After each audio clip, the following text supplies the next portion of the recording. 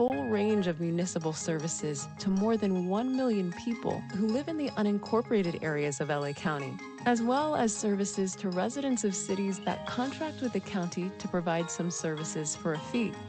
And that's a quick look at LA County at your service. You can learn more about what the county does for you at ceo.lacounty.gov/budget.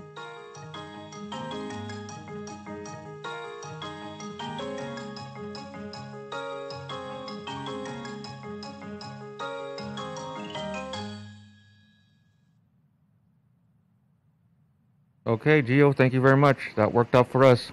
Much appreciated. Awesome. Thank you for the feedback.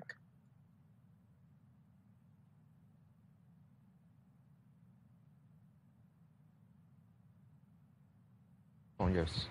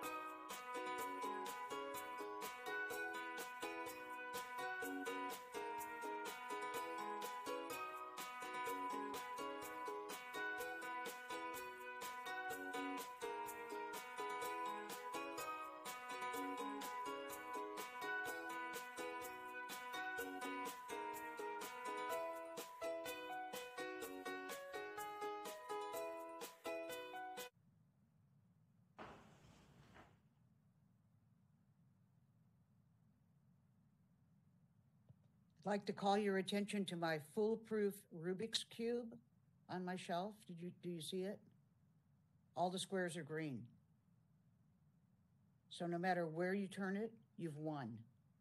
Did you do that yourself? Did you do that yourself? No, Oh, Oh, It wa- wow. it was a gift from an admirer for the level of my IQ.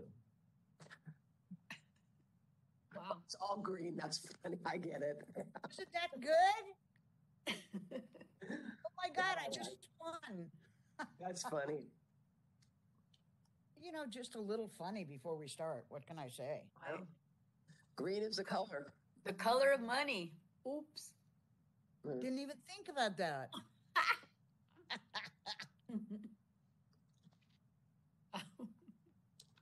Saw a really good play yesterday at the Taper, which I recommend. So anyway, time to start. Talk to you later. Happy Monday and good morning, everyone. Welcome to the LA County Board of Supervisors special meeting for fiscal year 22-23 budget deliberations. And today is Monday, June 27th. Let's take roll to confirm attendance. Supervisor Solis. Present? Good morning. Supervisor Kuehl. Good morning, here. Supervisor Hahn. Here. Supervisor Barger. Here. Fesia Davenport, Chief Executive Officer. Present. Don Harrison, Acting County Counsel. Present. Celia Zavala, Executive Officer of the Board. Here. Thanks, everyone. Today we'll begin with opening remarks from the Chief Executive Officer and members of the Board, and then we'll take public comment. The Chief Executive Officer will then present each of the budget items in numerical order. We'll now hear from Ms. Davenport. Thank you, Madam Chair, and good morning, Board of Supervisors.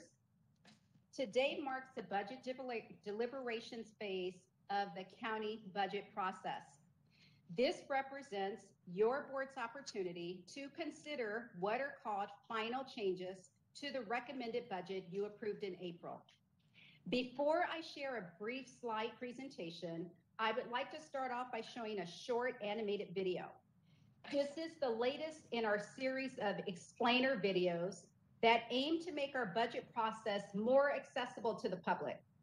This one is called LA County at Your Service.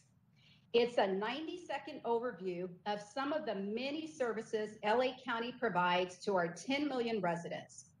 Based on feedback some of your offices received from constituents during community listening sessions regarding the budget, we thought it might be helpful to provide a basic explanation of what the county does and what the county does not do. We have also created a longer version of this video that goes into more detail about the county's role relative to our 88 cities and, say, some of our local school districts.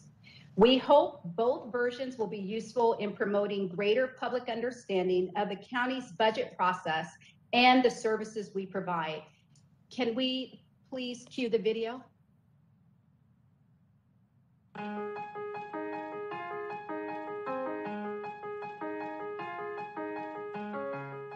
LA County is the nation's largest municipal government. Led by our Board of Supervisors, we have more than 100,000 employees at your service.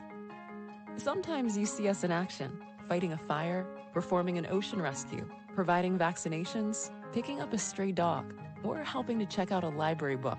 And sometimes our services are only visible to those who receive them, like benefits that keep food on the table or mental health care that calms a crisis. Whether high profile or low key, county services touch the lives of more than 10 million residents. Here's how. As the public safety net for the entire county, we provide certain essential services for everyone, whether they live in one of the county's 88 cities or one of our many unincorporated areas.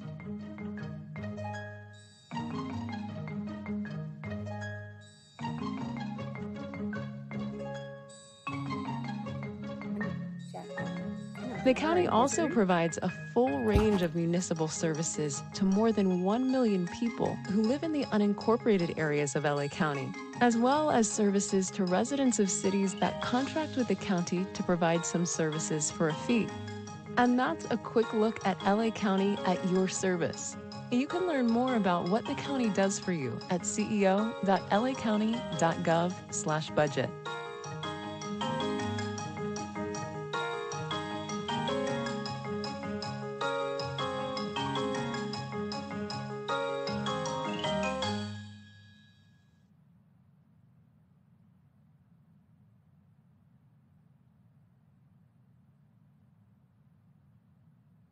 Okay, uh, thank you. And so we will now uh, move into uh, the presentation. I just wanted to point out supervisors that that video, as well as a, a longer version, it's probably about uh, three to four minutes long, that goes into a little more details, you know, for example, like our incorporated areas versus our cities. That's also available on the website at www.ceo.lacounty.gov slash budget.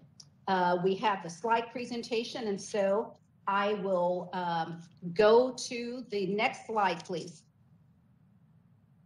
So budget basics, uh, each time I give this presentation, I like to do some level setting about our budget. Uh, this, um, someone is not muted, um, but I'll go ahead and continue. In this budget phase, the county's budget will grow to $39.7 billion, which is an increase of about $1.2 billion from the recommended budget in April. I will discuss this in a little more detail later, but the important point here is that the $1.2 billion does not represent unallocated revenue. The county's workforce, as demonstrated on the slide, will also grow to 112,614 budgeted positions, which is an increase of 1,063 positions from the recommended budget in April. Next slide, please. So let's talk a little bit about that number, uh, the $1.2 billion growth between recommended budget and today, the final changes budget. You'll see on the screen some of the multiple sources of the growth in the county's budget since I first represented the presented the recommended budget in April. More than a third of the increase is approximately $448 million change resulting from reclassifying one Mental Health Services Act reserve account to multiple reserve accounts. This accounting change increased the budget on paper, but provides no additional funding for programs. Next, there's $370 million, which represents an increase in state, federal, and other outside funding sources, which, as you know, are typically tied to particular programs or services. Also, there's $269 million, which reflects anticipated year-end savings from the current fiscal year that can be used as one-time funding source in carryover for the fiscal year into the fiscal year 22-23 budget. There's an $18 million increase based on a projected property uh, increase in tax property tax revenues generated specifically for the fire department. There's $15 million uh, is a projected increases in local sales tax and higher than anticipated state sales taxes. And finally, $38 million relates to a variety of what we call ministerial changes. I'll take the next slide, please. So what's new in this budget budget? Here's how we are proposing to deploy that additional funding and the new positions. As you know, we will be standing up three new departments by July 1st, with a fourth on the way this fall. The three departments are identified on the screen. This is a very complicated undertaking, and we are recommending funding to set up the administrative infrastructure that will be needed to successfully launch these new departments. To support our ongoing commitment to ending homelessness, the homelessness crisis, we are incorporating $489.3 million in Measure H funding, plus another $82.3 million in state homeless housing assistance and prevention dollars to support a new framework and streamline homeless initiative strategies. We're also investing in our VSAP election system as we head into the November election supporting the state of the art technology to ensure that we offer the greatest possible level of voter access and convenience. And we are adding some necessary positions to support key functions across the county. More than half of the newly budgeted positions are aimed at increasing public services, including 491 new budgeted positions for the Department of Public Social Services to implement revised eligibility rules and to resume processing Medi-Cal renewals once the public health emergency ends.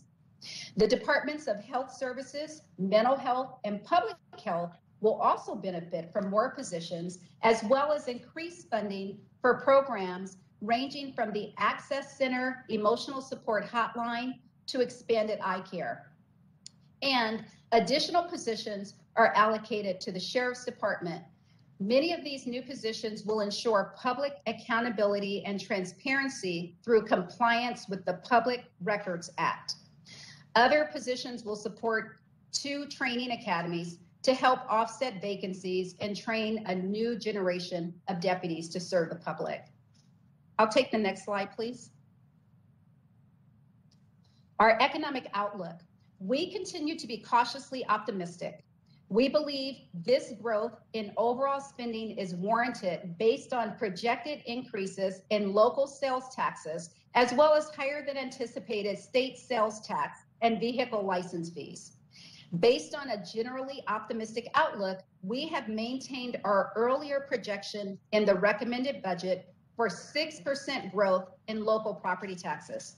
However, as you'll see on the next slide, we're also in a period of rising uncertainty and intensifying pressures on the budget. I'll take the next slide, please. So just a little bit about pressure points. While our short-term outlook remains generally positive, we know that even the best forecasting can't conclusively predict the future. Here are some of the known pressures we're facing.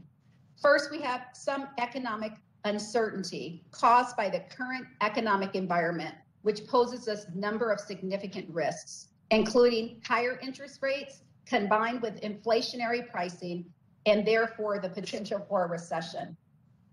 Next, the continuing pandemic. The COVID 19 pandemic continues to pose a public health and economic threat with high case rates due to the highly infectious new Omicron variants.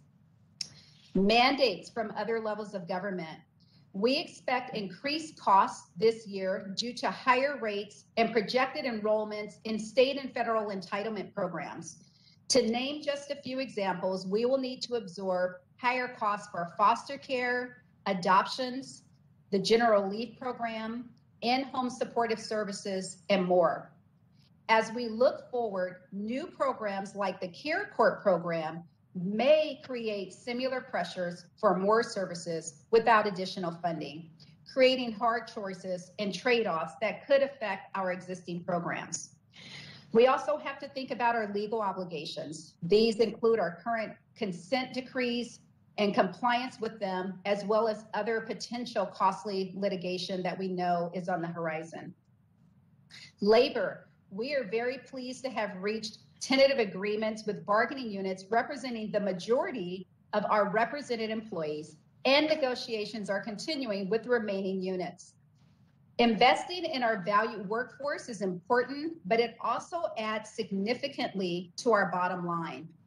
We expect these agreements to add a sizable amount to the county's obligations over the next three-year term of new contracts when all negotiations are completed. And finally, structural deficits. As you are aware, we must also continue our work to address structural deficits in several departments and programs. And those include the Office of Diversion and Reentry, the Office of Violence Prevention, the Parks After Dark program, and the Department of Children and Family Services. We also have some structural deficits in some of our special district departments with their own dedicated revenue, like the county library, where the shortfall is due in some measure to cities not paying the actual cost of our services, and in the fire department, which is in need of additional special district revenue. Taken together, these pressures are a flashing yellow light telling us that we should proceed cautiously and intentionally so we can achieve your board's ambitious policy goals. Like all governments, we must balance these very important policy goals with our obligation to remain fiscally responsible. I'll take the next slide, please. Just a few points on priorities. Our budget is large, but not unlimited.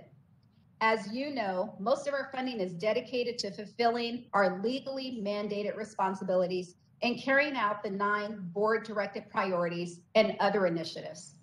Led by your board, we are continuing our long-standing tradition of fiscal restraint and working hard to ensure that we are placing our limited funding where the public need is greatest. We're also working to bring an equity lens to our decision making. It all adds up to a constant effort to prioritize the priorities and invest wherever we can in the work that is already underway, work that is on the immediate horizon, or work that has readily available resources to support it. Unfortunately, that means saying no or not yet sometimes to some promising programs. We've had to turn down all but the most pressing requests for new program programming or program expansion with a total of $242 million in funding requests being deferred in this budget phase to the supplemental changes budget phase. This means that if there were not a single additional request for funding between now and the supplemental budget in October, my office will manage and disposition $242 million in funding requests over the next few months. But this is also where our multi-phase budget process works in our favor because we have multiple opportunities to add, subtract, pivot, adjust, and otherwise make course corrections. The county is engaged in transformative change on many fronts all at once, all aiming to solve, not just manage, long-standing problems. We want to create lasting change in underinvested communities and in the lives of underserved residents. Multiple competing priorities are a reality for all of our departments engaged in this work. So when we say prioritize the priorities, it describes a constant process of assessment and evaluation to determine whether a new funding source is readily available and also the level of urgency and feasibility relative to other priorities. More specifically, we must collect data on, analyze, and consider multiple factors. Some I've just mentioned, but others are we consider whether requests are mandated by law or a court order. In these less than ideal settings, the, pri- the priority is imposed upon us. Other factors include whether there is a sense of urgency. Is there available funding source or are matching opportunities available? Is the program or initiative at the design and planning phase, or is it shovel ready? Are there outstanding issues related to labor or personnel? Can the program or initiative staff up in a timely manner? Does the program or initiative have a structural deficit such that the program expansion draws the fiscal cliff nearer and into sharper focus? Does the program or initiative represent a long-standing request that is now ripe and can only be funded with net county costs. These factors provide just a glimpse into this analysis, an analysis which is then further complicated by the volume of requests that must be considered all in a very short period of time. We must also think about whether our staffing meets the needs of our residents as those needs change. For example, the CEO continues to move forward with an analysis of the probation department's staffing ratio, the purpose of which is to right size the juvenile camps, halls, and field operations to the appropriate staffing level given the reduction in the juvenile population. However, we also want to be sure to account for the, transi- the transition of responsibility for secured, secured youth treatment facilities from the state to counties given the closure of the state's Division of Juvenile Justice. The CEO anticipates providing detailed findings, recommendations, and results of our analysis including but not limited to any cost savings to the board this fall. At this point, the budget adjustments before you today represent the result of our comprehensive and ongoing analysis of the board's priorities and fully allocates available resources under our latest projections. It's worth noting that the $1.2 billion growth in the budget does not represent unallocated money. It comes almost entirely from restricted or one-time funding sources, which essentially precludes us from embarking on new ongoing initiatives or programs with this funding. I'll take the next slide, please.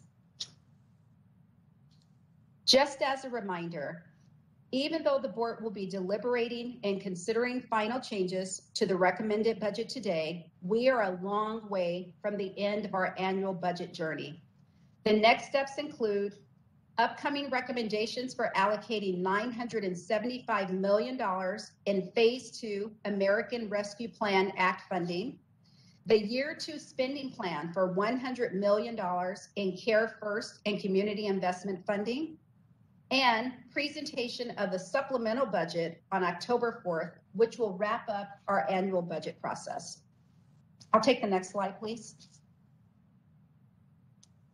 This concludes my presentation, supervisors. As always, I'd like to thank your board and your vision and leadership and to salute your staffs, especially the budget deputies, for their assistance and partnership throughout the budget process. Ms. Davenport, thank you very much um, for the presentation and for the video. Uh, I hope that um, we'll have the opportunity to link to our own websites the videos because I think as we um, continue to help you get information out to the county as a whole and all of our constituents about the complexities of the budget process, it certainly helps us through the process. And so, again, let me thank you for your presentation and really the hard work uh, your budget team, as well as all of our budget deputies, have put into this process. As you said, the process is far from over, um, but I look forward to continuing the conversation. My two uh, favorite, if you will, slides today were your pressure points and your prioritize the priorities. Those are the two I'm going to pull out and, and keep in my binder um, because I think they reflect a couple of things that are important for us to keep in mind um, the role you play in, in monitoring and, and your ability to report back to us the fact that we do have a healthy economic outlook.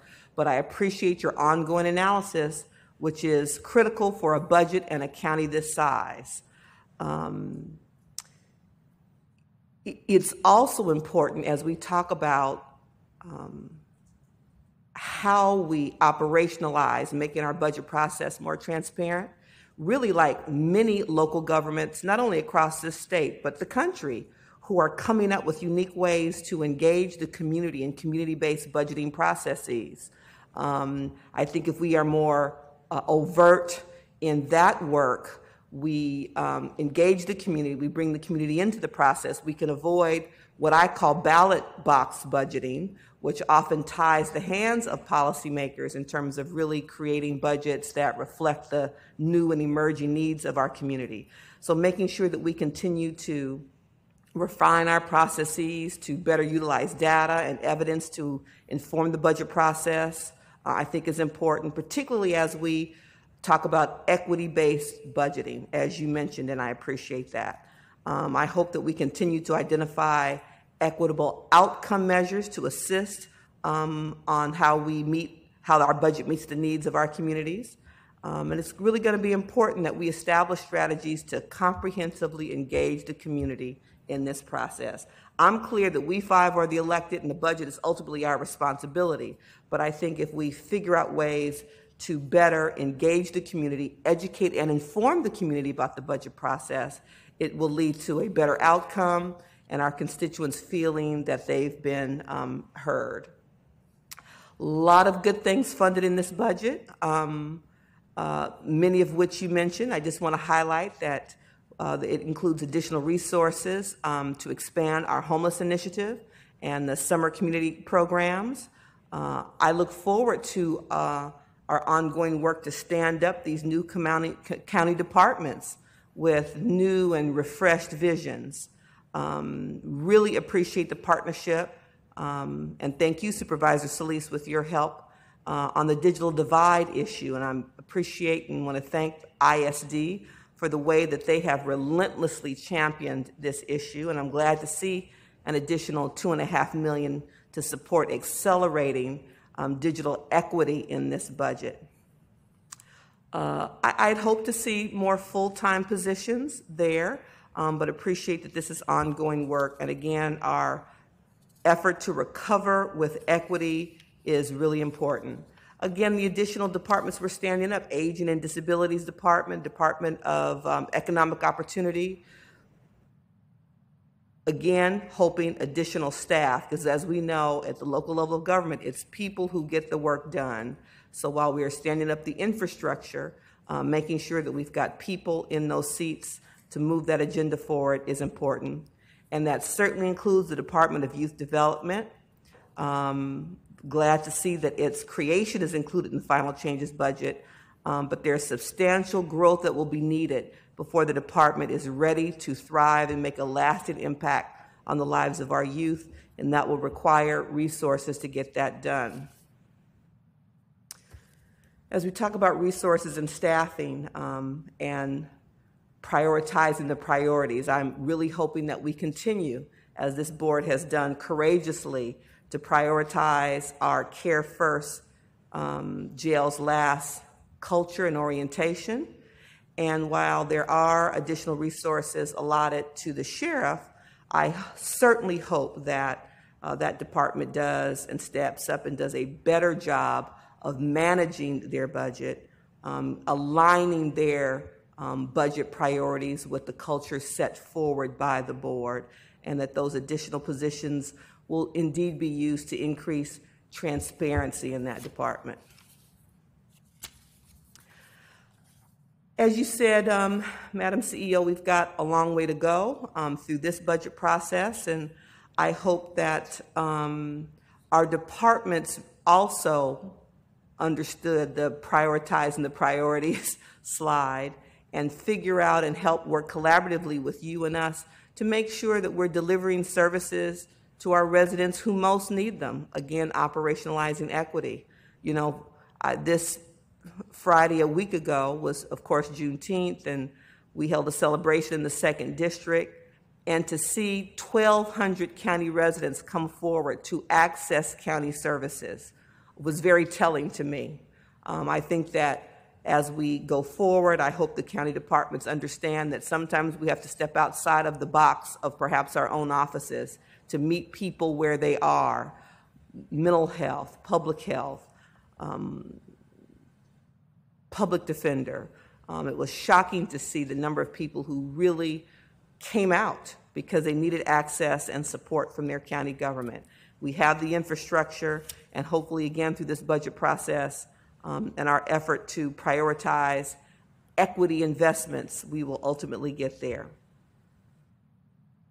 So, again, I think the current budget process and allocation of resources, again, requires an ongoing deeper look to ensure that resources are indeed being allocated equitably throughout the county. Uh, I will continue to advocate for that. Uh, and as we move forward um, in this budget process, look forward to continuing the conversation, continuing to monitor our own economic health as a county, and making sure that we're meeting the needs, um, prioritizing the priorities. I'm going to use that uh, phrase a lot, Ms. Davenport, because I understand its value. And I understand the role that this five member board has in making sure that we set the framework um, within which how the county budget is framed and how we prioritize those allocations. So thank you again for your presentation and the very helpful slideshow. I'll be linking it to uh, my website so second district residents are familiar with the process and hopefully engage in a meaningful way. With that, the order of remarks um, that we will hear from members today will be SD 5, followed by SD 1, 3, and 4. Supervisor Barger. Thank you, Chair Mitchell. And I'd like to first express my thanks to all who worked diligently to get us to this important point in the budget process. In particular, Fesia, you and your entire team. I know um, my deputy, Michelle Vega, as well as all the budget deputies that have worked on the eighth floor. Um, you know, I think that uh, when you look at the leadership of the CEO and and and Fesia, you have Matt McGlone, who's doing a fantastic job. Your collective efforts drive the county's budgeting process and ensure that we are allocating our resources effectively and efficiently, which the slide presentation um, reflected. I want to thank our county departments as well. Um, you work hand in hand with our board and with our county CEO to develop and implement budgets to meet the needs of our constituents and support our county workforce, something that has to go hand in hand. There are a few points that I'd like to highlight regarding today's deliberations. I am glad to see that $12 million will be allocated to the Sheriff's Department for two additional academy classes to hire and train new sheriff's deputies. This is essential so that we can prevent overtime costs, help stem attrition, and ultimately keep our community safe. I believe that we need to continue to do more and consider additional opportunities to support law enforcement, such as the MET team. We must do all that we can to protect residents, business owners, and support public safety. But at the same time, I think we are rightfully, uh, I think it's important that we increase our support for diversion and other community based programs, provide successful alternatives to prevent individuals from getting involved in the justice system and to help those who have been in our justice system. I strongly support funding public safety and community diversion strategies. We should not take an either or approach when it comes to funding these priorities. Again, they go hand in hand. I also support continuing to provide adequate resources to the type of programs to help youth to help our youth succeed. I'm pleased to see additional funding for the Parks After Dark program and recreational swimming at county parks. Both foster outdoor activities, social engagement, and physical health. We also have a variety of programs offered by our libraries that help young minds grow and thrive and keep our teens and young adults engaged. I would argue we have one of the best library systems in the state, probably in this country, based on the fact that we have engagement um, and are really focused on, on access for our youth. We also have a variety of programs offered that that will provide um, support. Um, I know in my libraries, and I don't think it's unique to the fifth district, that provide food service um, during lunch for those that may need um, a meal at our libraries. These type of programs at our parks, libraries, and community centers are typically targeted for vulnerable neighborhoods and at-risk populations. I support the strategic approach. Both parks and libraries could benefit from an assessment of their funding. We need to have a clearer picture of what resources are needed that they can staff and implement programs that engage our constituents and contribute to their well-being and success. And as we discuss at-risk populations, we must acknowledge a significant deficit facing our Department of Children and Family Services. These are children and youth for whom this county is responsible. We must address these budget shortfalls, which should not in any way impact our ability to best serve those who, by no fault of their own, are in our child welfare system. And finally, I would like to address the dire crisis we are facing with homelessness. In this budget, as in all our recent budgets, we are allocating millions of dollars towards strategies that are intended to connect homeless individuals to housing, mental health treatment, substance abuse services, and employment opportunities. Clearly, what we are doing um, to date is has has has made little movement, but we can do more. We've spent billions of dollars over the last several years just to see the numbers of homeless increase and more encampments crop up across the entire county. All this with the realization that people are dying alone, without dignity, and in pain on our streets every day. This is a public health crisis and it is a life or death situation. That is why we must address homelessness as a crisis and do more to save lives of those who are dying on our streets. I'm hopeful that as the county moves forward with the recommendations for the Blue Ribbon Commission on homelessness, we will be able to increasingly focus on strategies and services that will make a difference in our homeless stay and help our homeless stay off the street. Lastly, I'd like to note that while this year's budget continues to indicate strong financial growth and stability, we should prepare for uncertainty around the economy. I appreciate the continued increase in our reserves and dedication to maintaining the social safety net. Today's budget is a reminder of the balance we must maintain so that we can continuously provide necessary services for our residents while ensuring keeping our communities safe and, and secure. And I'd like to say, you know, Fesia, the video, and I, I agree with uh, Chair Mitchell, I'm going to put that on our website, explaining how the county budget works. Many people don't realize that much of our budget is pass through dollars from the state and the federal government. And discretionary funding that we have is very limited, and that funding does go toward libraries, parks, things that don't get a subvention or a, a federal or state dollars. And so I appreciate um, that video because I think it does help explain what to some can be confusing.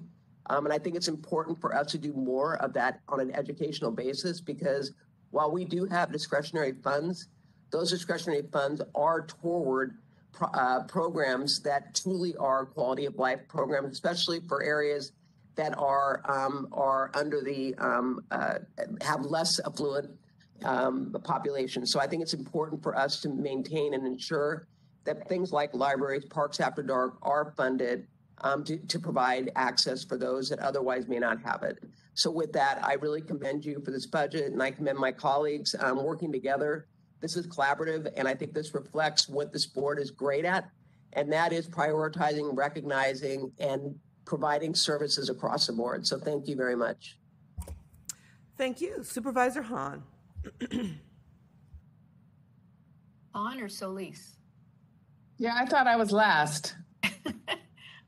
We all agree. I think Hilda's next. You're you're right. I was going like in reverse numeric order in my mind and forgot our Kathryn- unique order. Kathryn said it. We So- all agree. Exactly. Supervisor Solis. Thank you very much, Madam Chair. And um, I also want to thank uh, our CEO, Fesia Davenport, as well as her staff for putting together uh, this budget. I want to also applaud our legislative team, our employee relations teams, and our county department heads, as well as their staff, and as well as our budget deputies from all of our offices, because they have been working in a collaborative manner. So I want to thank them personally. I also want to take a moment to thank my own team, hashtag Team Solis, si se puede, for their continued hard work, including my budget deputy, Tammy Amoto Frias. You know, it's been another challenging year for us, and I appreciate all of us rising to the occasion again. Uh, as we close out fiscal year 2021 and look forward to the new fiscal year, I would urge all of us to be reminded that while the county's budget has stabilized, for many of our residents, recovery remains elusive. And this is especially true in the first district that I happen to represent. And for those who lived paycheck to paycheck before COVID, their recovery will take even longer still, especially given the current rate of inflation, the likes of which we haven't seen in 40 years. We're getting to work because of, or, you know, just trying to, to navigate to, to get to work and paying those outrageous gas prices, buying diapers and baby formula, or putting food on the table has only become more of a challenge for these families. And just last week, I attended one of our first food distributions at Belvedere Park in East Los Angeles, where we partnered with the regional food bank and Baby to Baby to provide food, baby formula, and diapers to well over 1,200 households. And for me, this is indicative of the relentless needs of our communities that we all represent one way or another. And it's clear, at least to me, that our residents continue to struggle. And if the experts' forecasts hold true, we'll enter into a recession maybe in the near future. And I say maybe. But we need to be prepared and we need to help prepare our residents to be able to endure any level of a recession by providing more services and relief, which is, in my opinion, what this budget does. Now is the time for us to strengthen the safety net that we're mandated by law to provide. The budget today is $39.7 billion with over 112,000 employees. And that's a lot of good paying union jobs. And it's my hope that with the increased number of positions, we can again look at bringing some of the jobs we contract out back in house as we had committed to before the pandemic. And as the budget continues to be refined during the budget phases, I'm pleased that the following adjustments are being made that are important to many of the residents that I represent in the first district. The transfer of staffing and resources to the newly established Department of Economic Opportunity so that this department, which I also authored a motion to create, can help bring jobs and industry to LA region starting in the new fiscal year. $460,000 of our internal services department, ISD, to help them continue the countywide promotional campaign to inform residents about the avail- available subsidy that will help them reduce the cost for computers and internet service. Nothing was more clear to me during this pandemic than that digital divide.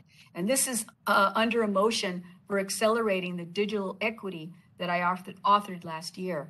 $103,000 will go to fund one position for Chapter 8 agreement sale program, which I authored to identify tax defaulted properties so they can be converted to affordable housing, something that is high, high on our list. $12.7 million for the Care First Community Investment Funds, or CFCI funds, directed to the Department of Public Health, Mental Health, and Health Services for mental health and substance abuse treatment and housing. And also increased staffing for the Department of Health Services, specifically $3.8 million for 22 radiology positions at High Desert and six community health centers, including in our district, El Monte and the Roybal Center in East LA. $3.3 million for 19 staff for patient center medical homes at LAC USC in the first district and also in all of you. And $2.6 million for 13 ophthalmology staff at LAC USC and High Desert, something that was mentioned by our CEO. And at LAC USC, the conversion of 12 clinical contracted staff into permanent county staff so that we can retain our valuable workforce and continue to provide quality health care to our most vulnerable residents. For me, those are commitments that we made and that we are honoring.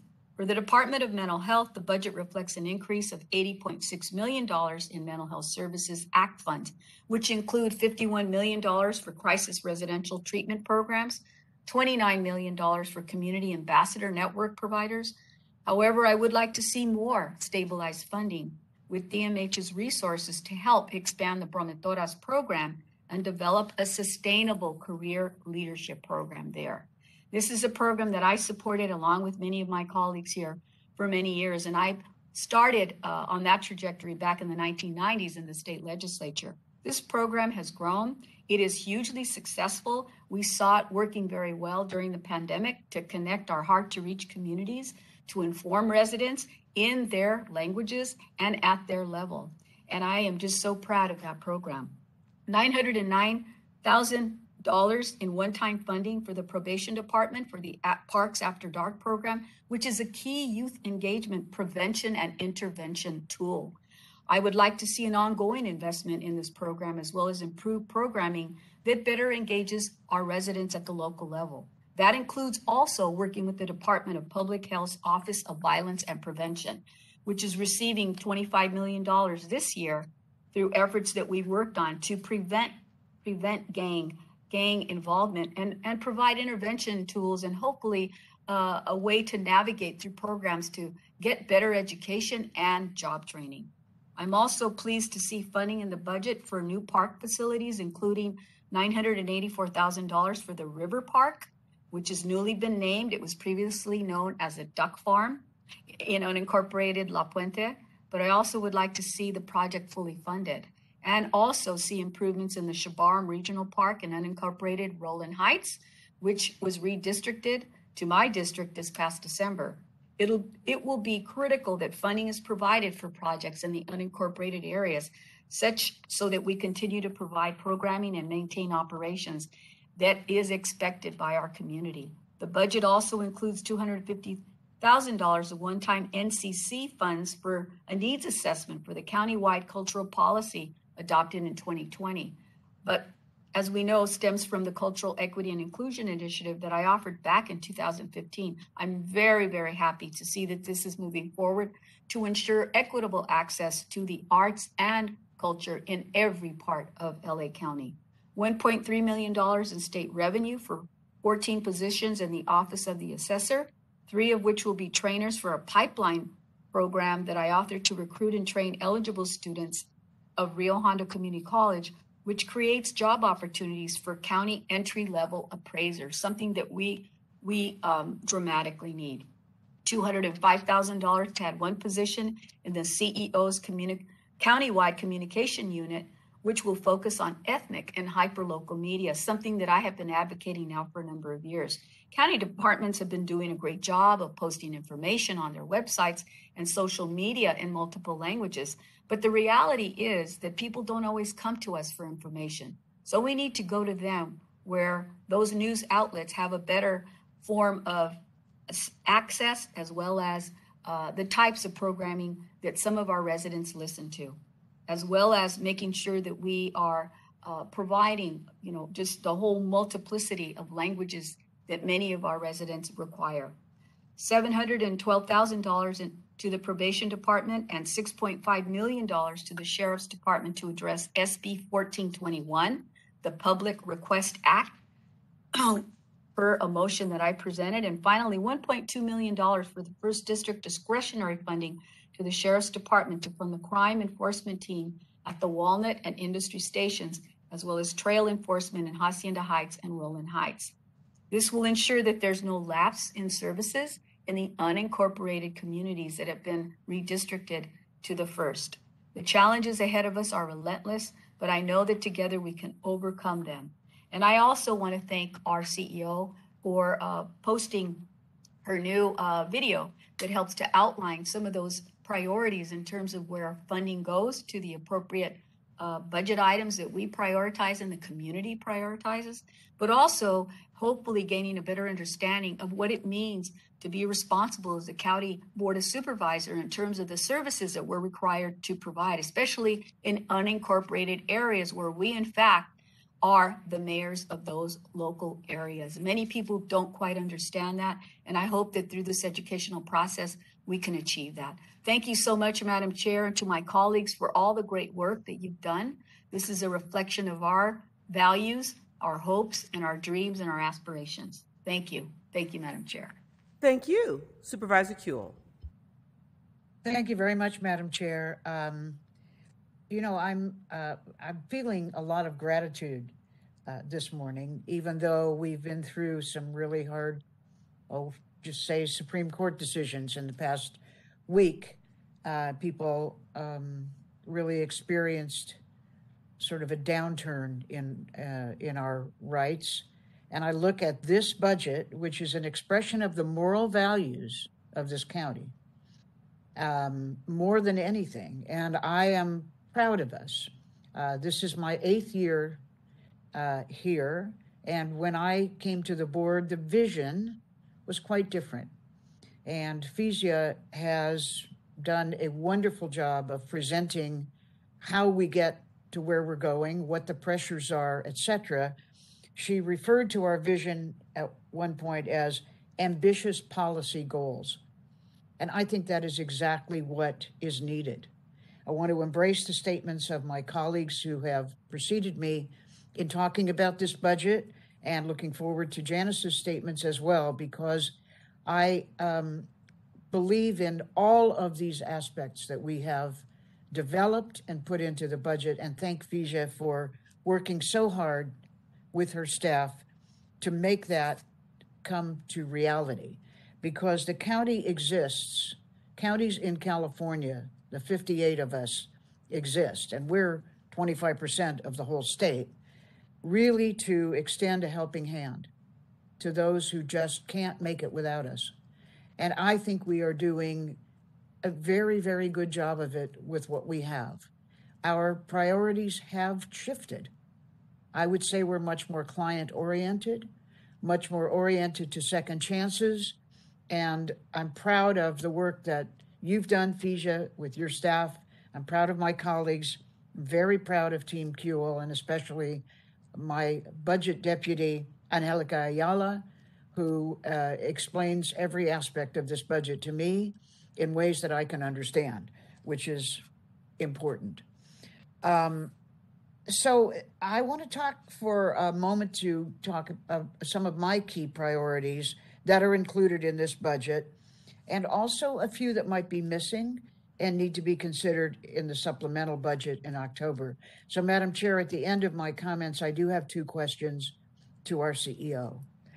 First of all, I want to lift up the Department of Aging and Disabilities and thank Janice so much for pushing and pushing for this as we talked about what we would do to separate out some of the departments that were jammed together in WDACS and see if we couldn't make them lift them up more, make them special. Uh, this budget establishes the department with a total budget of uh, over 150 million, almost 500 positions.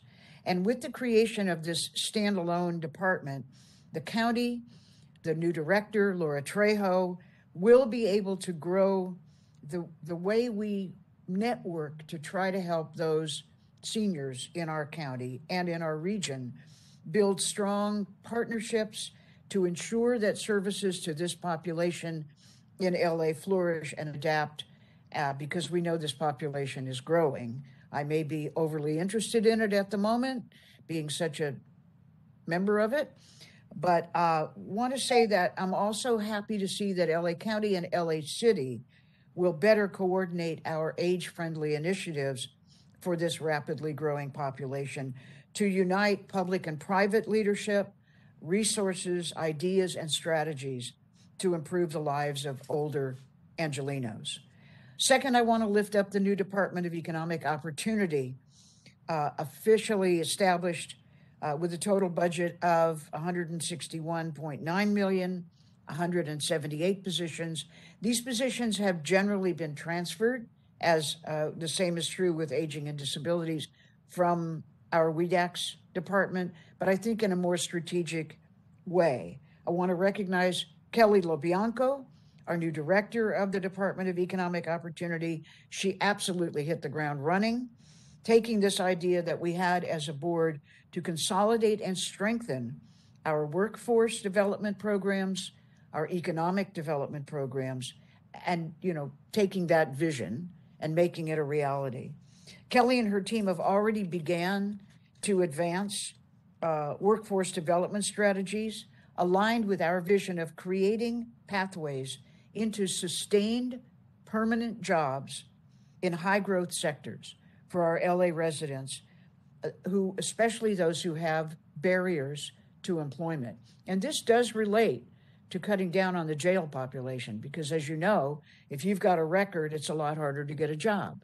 And we you know, we're we've done everything we can to try to help with that. So you can already see progress in some of the key programs that were launched. I love our program, our PLACE program that we talked about last Tuesday, uh, I guess two weeks ago now, where we are looking at our own beneficiaries in, you know, DPSS, people coming out of jail, uh, foster kids who are aging out, and saying, how can we help them, train them, and place them? And we're doing it for hundreds at a time. And I'm really, really proud of that program. Uh, it's also great to see um, ongoing support uh, financially and through technical and legal assistance in this new department to our small businesses. They're key to our local economy. And of course, as we know, we're devastated by the pandemic. And again, look to the county to help. I mean, we are kind of it. You know, I've compared us to the people who walk behind the horses at parades because we don't make the messes, but everybody says, What are you doing to clean up the mess I made? And I think actually this budget does reflect our commitment to being there for people who need us. I, I thirdly, I want to lift up the new Department of Youth Development, I, a dream of mine, uh, of Mark Ridley Thomas's when he was here, and the five of us have agreed how important that is to transition to a care first model for young people in the county. I'm really pleased to see the establishment of this department with an initial budget of 25 million, 22 positions, including the department head position. It's not as much, and the scope will be a little lean at first, but it is so important to establish that department, that vision, and look to the growth of that department so that all of our youth, youth services that are not required by law to be done through probation, which is essentially only locking up kids, um, is going to be transferred, hopefully, to this department. Um, one objective is to implement our care first approach to duties that have historically rested, but I think inappropriately, with law enforcement. The concept of youth development is so much broader than simply diversion from the justice system. There's so much room to reimagine upstream prevention efforts, really, really important. Let's keep people from getting involved in the justice system, especially our young people. Community based supports for young people, the establishment of actual physical locations where young people can gather and access friendships, mentoring, programs, what they need. So I look forward to seeing this department grow and feeling its impact uh, on all the places that young people gather, live, and need some help. Fourth, I'm really pleased to see the second year commitment of an additional 100 million, just as we said we would, even though Measure J was thrown out by the courts. 100 million towards Care First Community Investments, formerly known as Measure J. This brings the ongoing allocation to 200 million so far, with the goal to grow to 300 million next fiscal year. We have made a commitment to building a Care First jail last system. Measure J was another mechanism to accomplish this goal. Talk about vision. When I first came on this board, we were still building jails. We were building out jails. We were voting to build jails. And then we said, oh, no, no, let's do a giant mental health facility that is a jail. So, I mean, you know, we've come a long way, and this is one of our commitments. We did not even allow the preliminary ruling about Measure J from stopping this work because we committed to doing it anyway. And since the passage of Measure J, there's been tremendous engagement from diverse community members from all over LA County who put in lots of hours, tremendous passion towards developing recommendations. So this second year commitment will materialize as deeper investments for our most vulnerable communities. Fifth, affordable housing. It's it continues to be a top priority in our efforts to stop the flow into homelessness. I mean, our housing market is let's face it, it's simply unaffordable. I mean, I wouldn't be able to rent an apartment now. I'm just telling you when I was just out of college and working at UCLA, I could actually afford an apartment in Westwood for what I was being paid. It it's just unthinkable now for our kids and grandkids. And we need these affordable homes, a half a million of them that don't exist yet. And it demands a steadfast commitment to funding housing and services. I'm proud to say I introduced the motion over six years ago to establish and grow the Affordable Housing Trust Fund to $100 million in ongoing funding every year. And I'm really grateful, Fesia, I'm really grateful that you have stuck with this commitment, found a way to honor it. And we've got it in fiscal year 22 23, on track to make it a permanent ongoing, so we can do affordable housing for many years to come. I also want to highlight in sort of finally a few priorities I hope will receive a little more attention and funding, just have to say. First of all, the new Justice Care and Opportunities Department, JCOD.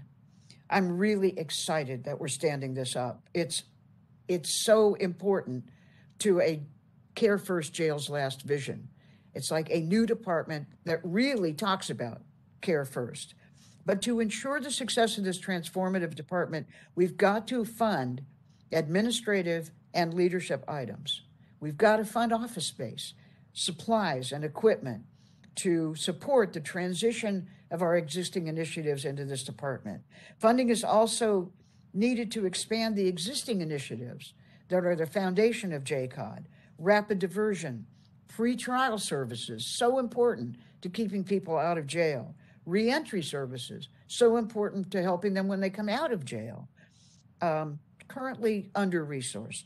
Scaling up resources for those initiatives that are going into JCOD will really help ensure success and not set ourselves up for failure so people can go, see, I told you it didn't work. No, put the money in and it works. Um, secondly, in things that I think need a little more help, accountability and oversight entities. Extremely important to this board. Over the last few years, we've established three oversight entities. The Office of Inspector General came first, the Civilian Oversight Commission oh, just tell us what the sheriff's done and what needs to be done. And the newest, our Probation Oversight Commission, very healthy, very robust, and very vocal. And so I'm pleased to see an initial investment of three positions for our oversight bodies. But given how much we ask them to do, I hope we'll continue to demonstrate support for their work by fully funding necessary staff positions. They need it. And they need it to better meet their investigatory oversight and community engagement duties.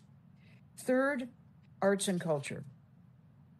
Yeah, yeah, yeah, yeah, yeah. I've been talking arts and culture ever since I got here. Fortunately, everybody is on board for this, but we still need more support. With the transition of this new department of arts and culture, the growth of civic arts projects, the adoption of a county-wide cultural policy, which is great. Uh, we've asked a tremendous, a, a tremendous amount from the Department of Arts and Culture, but the increased workload has not come with the staff positions really needed to do it. I'm very pleased to see two civic art positions in the budget. I hope the remaining three positions that the department identified in their request are prioritized for funding ASAP. Finally, I want to talk about domestic violence. We took a stand in the last meeting about needing and wanting to fund shelters. They are on the front line for our response to domestic violence. And we have not really adequately set aside ongoing funding to stabilize the shelter based care agencies. That's what we voted on a couple of weeks ago.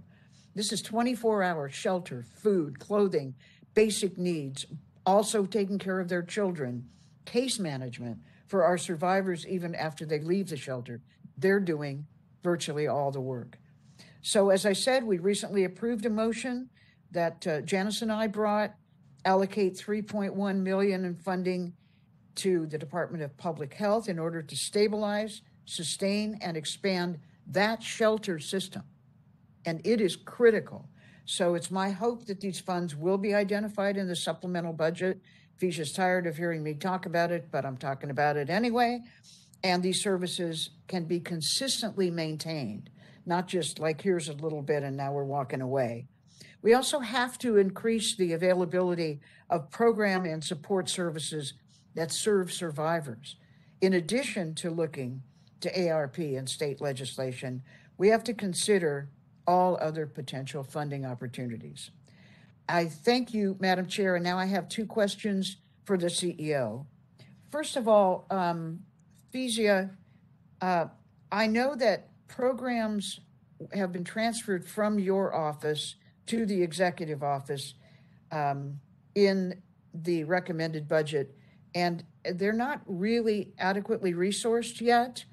Um, I really appreciate the CEO saying, "I need to be a kind of you know, you know, nurturing and growth factory for new programs, and then they need to go somewhere so that I can do whatever you're going to invent in the next year." And I really understand that.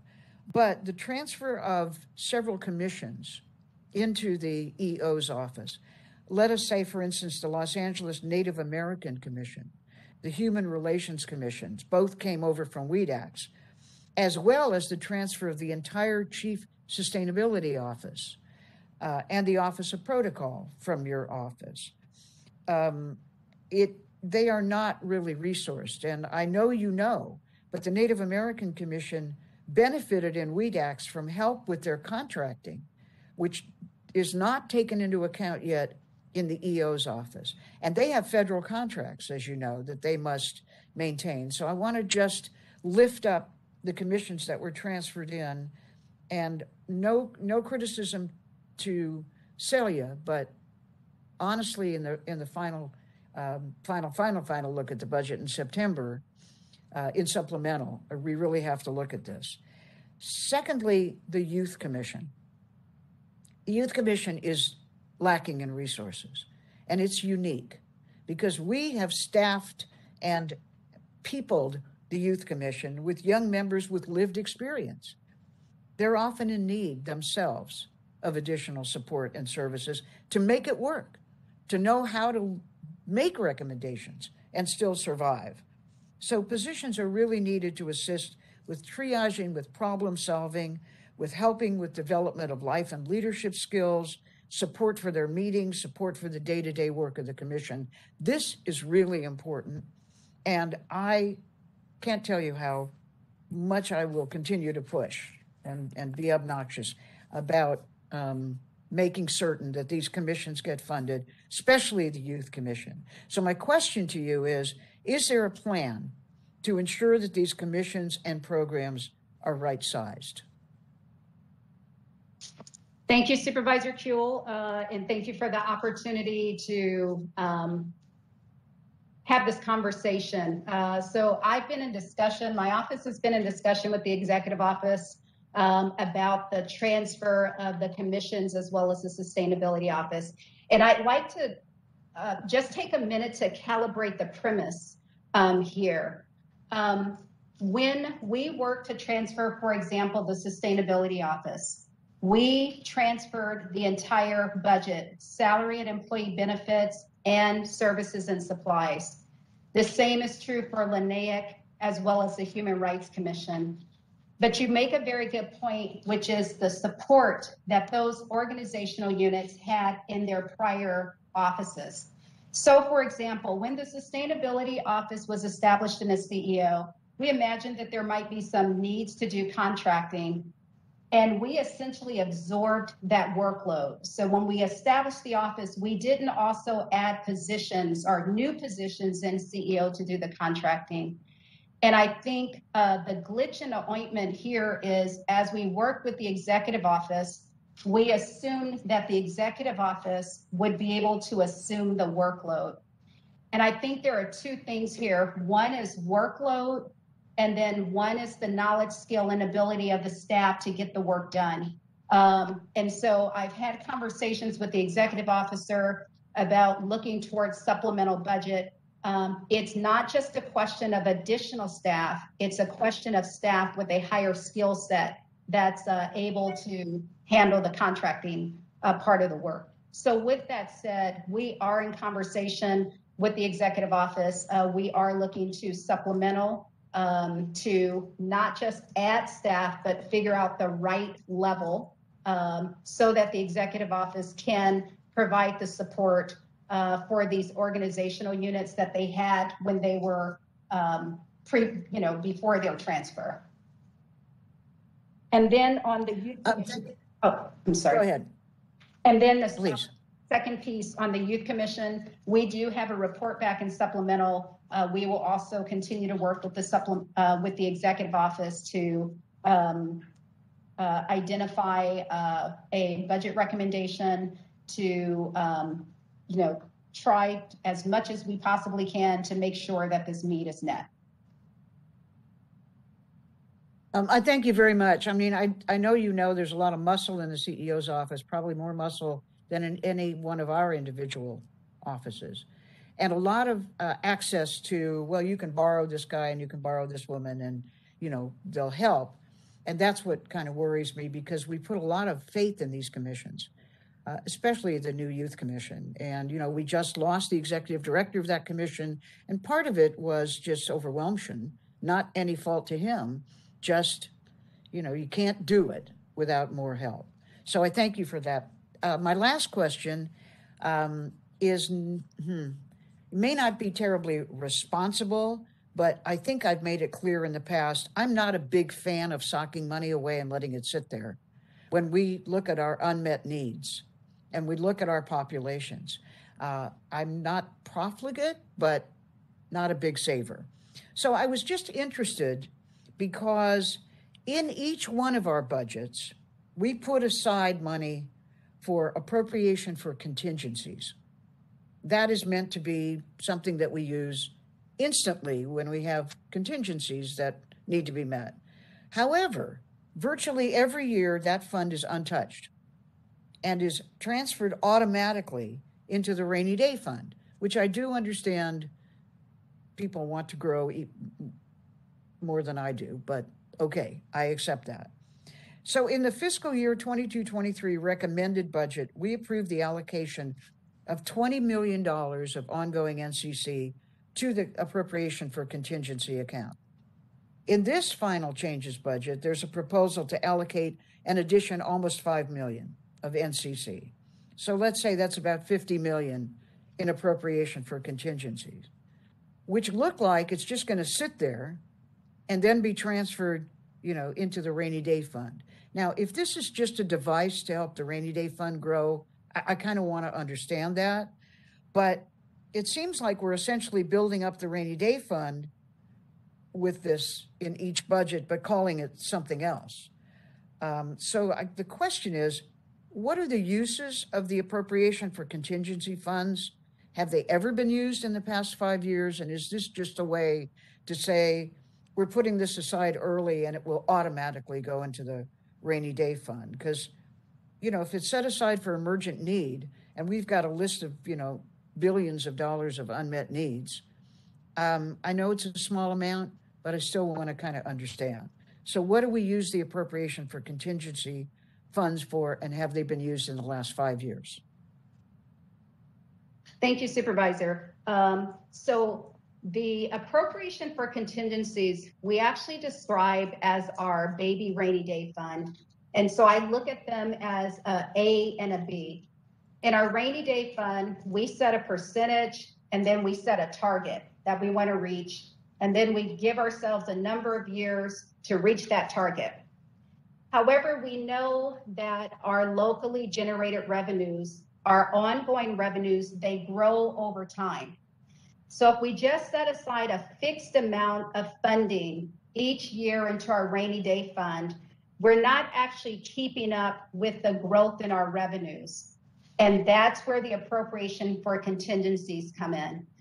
The appropriation for contingencies basically allows us to keep up with the growth in our locally generated revenues. Um, I'm sorry, it allows us to keep up with setting aside a certain amount of our locally generated revenues. So we have two parts. The rainy day fund, we typically set aside an amount every year and we hope to reach a target over a certain amount of time. But we know that our gener- our revenues are not fixed, that they grow every, you know, they tend to grow, we hope, over time. And so what we do is we use our uh, appropriation for contingencies to supplement the amount that we're already setting aside in the rainy day fund. With that said, um, we I think you asked if we have what are its uses. Basically, we use it as a hedge against any unforeseen financial issues during a given fiscal year. Uh, for example, if the county's locally generated revenue receipts were significantly lower than anticipated, then we would tap into these funds to support county operations and avoid making cuts to the budget in the middle of the fiscal year. And as you correctly point out, while these funds have not been used in the last five years for such of an emergency, we were prepared to tap into um, the appropriation for contingencies in fiscal year 1920. I know that seems a very long time ago. Uh, at the beginning of the pandemic, as economic uncertainty grew during the onset of the pandemic. Fortunately, the property and sales tax revenue taxes revenues did not dip as low as projected, and state general funds were provided to cover some of our shortfalls in our 1991 realignment revenue and our vehicle lease license fee realignment revenues. So we didn't need to use the funds. Secondly, um, I think it's important to note that this is uh, not a, a, you know, sort of a random budgetary exercise of the CEO's office. We are establishing and, and transferring funds to our appropriation for contingencies pursuant to board policy. Um, um, the policy recently was changed. We set aside many years ago, uh, the target was 10% of our ongoing locally generated revenues. We met that amount. We know that best practice is 17%. Uh, we had a lot of discussion about that on our recent um, tax revenue anticipation notes um, meeting when we went to New York with the rating agencies. Uh, and so we have not used it. it is there for contingencies, and we need it to be available in the event uh, that the need arises. And if we don't use it, uh, you are correct, it does transfer to the larger rainy day fund. Well, I, um, I, I, as I said, I could be a person, my mother would not be proud of me because she was a great saver. But, uh, if, if I, I don't think, if this isn't a rainy day, I don't know what is. I mean, yes, our revenue is up and yes, in order to keep our bond rating up, we need to do this. And my colleagues voted, though I was not in favor, to increase the percentage of the rainy day fund. And of course, the contingency, I guess, is how we get there in the current budget, but we've been adding to it as well. Um, I will continue to advocate to use the money to help save and improve people's lives, and uh, you know, unapologetically. Uh, and Fesia, we are your worst nightmare in that sense because we're saying, do the right thing, but spend this money, spend more money, and we've got another idea for you to spend money. But I think spending money is what we do in the county because that's how we help people. It's all human capital, services. We're saving lives. And um, so I'll continue to push for spending more unapologetically. But thank you so much for the work you've done. And thanks to my colleagues um, for all, you know, the vision that we put together together. Thank you, Madam Chair. Thank you, Supervisor.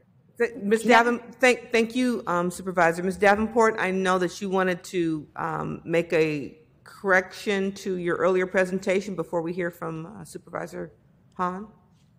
Yes, thank you, Madam Chair. Uh, so previously on slide three of my presentation, I talked about uh, the $1.2 billion growth in funding between the recommended budget and the final changes budget.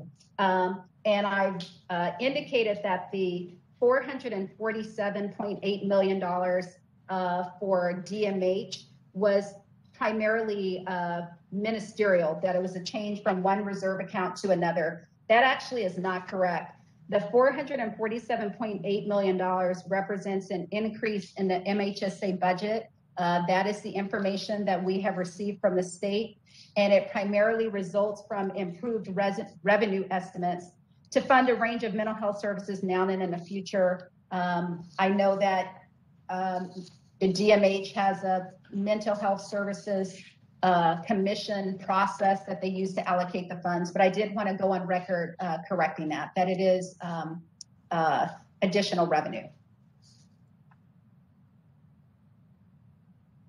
Thank you very much. Supervisor Hahn. Thank you, uh, Madam Chair, um, and thank you, uh, Fesia, for uh, your your presentation. Uh, and I too want to acknowledge uh, how much time and effort and dedication uh, your team and all of our budget deputies have spent to get us this far. A big shout out to mine, Mark, and also with the help of Carlos, who kind of came in at the end to, to work on what we're doing today. Um, and may I say, each one of my colleagues, you have been so um, articulate and um, and um, really good at uh, giving your perspective um, on things that were important to you, but but also reminding everybody um, why this budget is a moral document, uh, and it, it it does speak to the 10 million uh, residents, which uh, we all uh, work every day to represent and, and to govern in um, in ways that um, you know with integrity uh, and and passion. So I think each one of you has really spoken so well.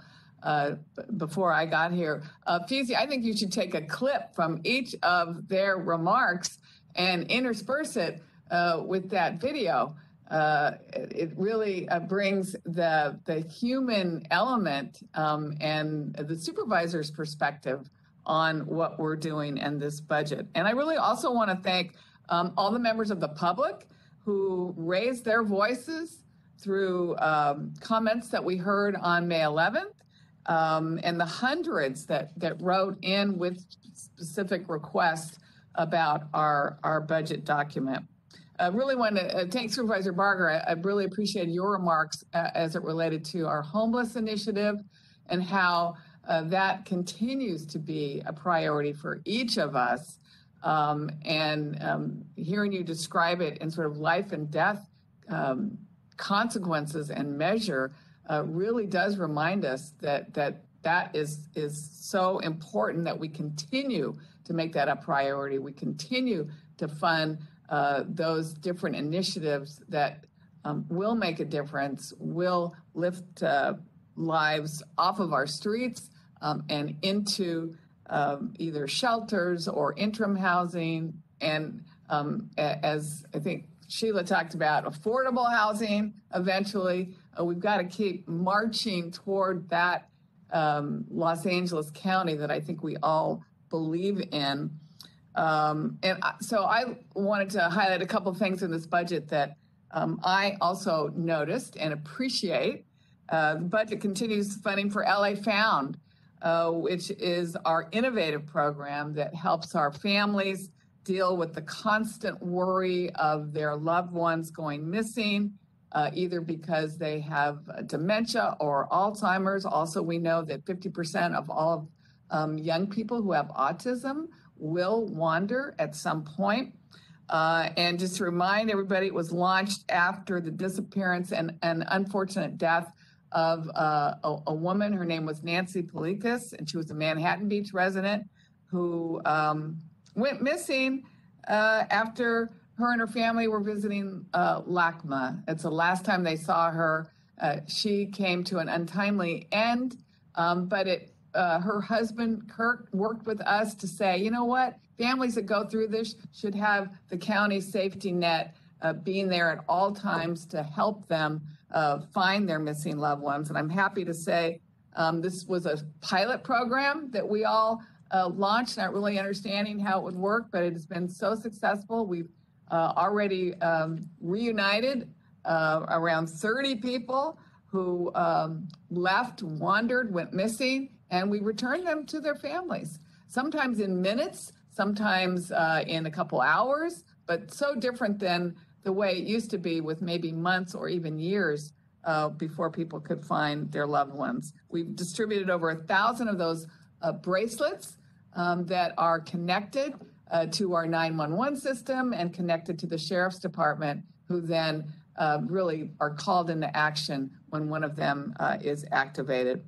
And uh, I know, thank you, uh, Sheila, you gave a great uh, overview of our Aging and Disabilities Department. And thank you for that. I think I agree with you. It's such, it's the right time for us to create an department that is solely focused uh, on our um, aging residents and particularly those who have disabilities here in the LA County. And um, they have made staffing requests, uh, which will be important uh, to get this department um, up and running uh, successfully. Uh, we've spent three years exploring and planning how to get to this point, and it makes me so happy that July 1st, uh, this department will be realized under the vision of Dr. Trejo. I congratulate my colleagues uh, on that uh, great hire, uh, which I think will be key to that department being success. Um, uh, thanks also, Sheila, for your uh, talking about the Youth Commission. that's so important to me, and, and you, you said that the leadership has transitioned. Um, but I think it's so important that, that young people who have lived expertise um, are the ones that we appoint to this commission and uh, that we do hear them. And I'm glad to hear, uh, Fesia, that um, you have reiterated the fact that uh, you'll be working with the executive office um, so that we can make sure that we support this um, mission driven uh, critical work of, of that commission.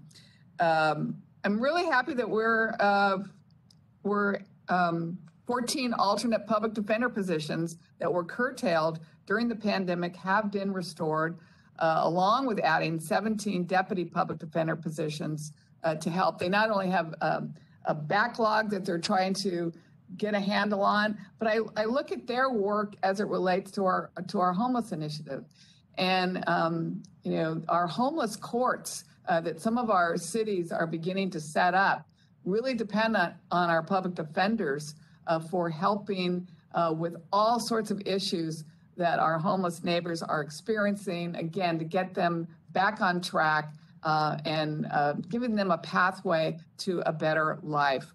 Uh, I'm also pleased to see that there is uh, funding for two additional academy classes to recruit new deputies. Uh, to fill some of the vacancies that we've had in our sheriff's department. I think that's important. I know it is to residents in my district. Uh, they're very uh, keen on seeing more uh, of their deputies out and about. They have good relationships with their rank and file deputies, and I know they will support this. Um, you know, during uh, the recommended budget, I um, asked uh, you, Fesia, to find more funding to keep our public pools open through September. And I know that uh, Parks originally requested 10 million, and they only got 5 million uh, in one-time funding. But um, you know, I think uh, Kathryn also talked about um, you know how important parks are and how important recreation is, and um, uh, it, it means a lot to our residents, and it just doesn't make sense that when these heat waves with climate change are gripping us well through September and October, sometimes even November, that we don't figure out how to keep our uh, county pools open uh, for swimming in those months. So uh, I'm looking to uh, see if you can uh, find you know, ongoing funding for that. I, I just think it's critical uh, for our residents. They also, um, I did like the slide about prioritizing priorities, and I think that really uh, is is uh, is the path that you're going to have to walk going forward. And um, I, I think it's critical that you know the public understands um, that there are different priorities. Some are uh, mandated uh, through uh, the courts that we spend certain monies in certain ways, and others are um, priorities that we on the Board of Supervisors have articulated that are important. Um, I think, again, about pools.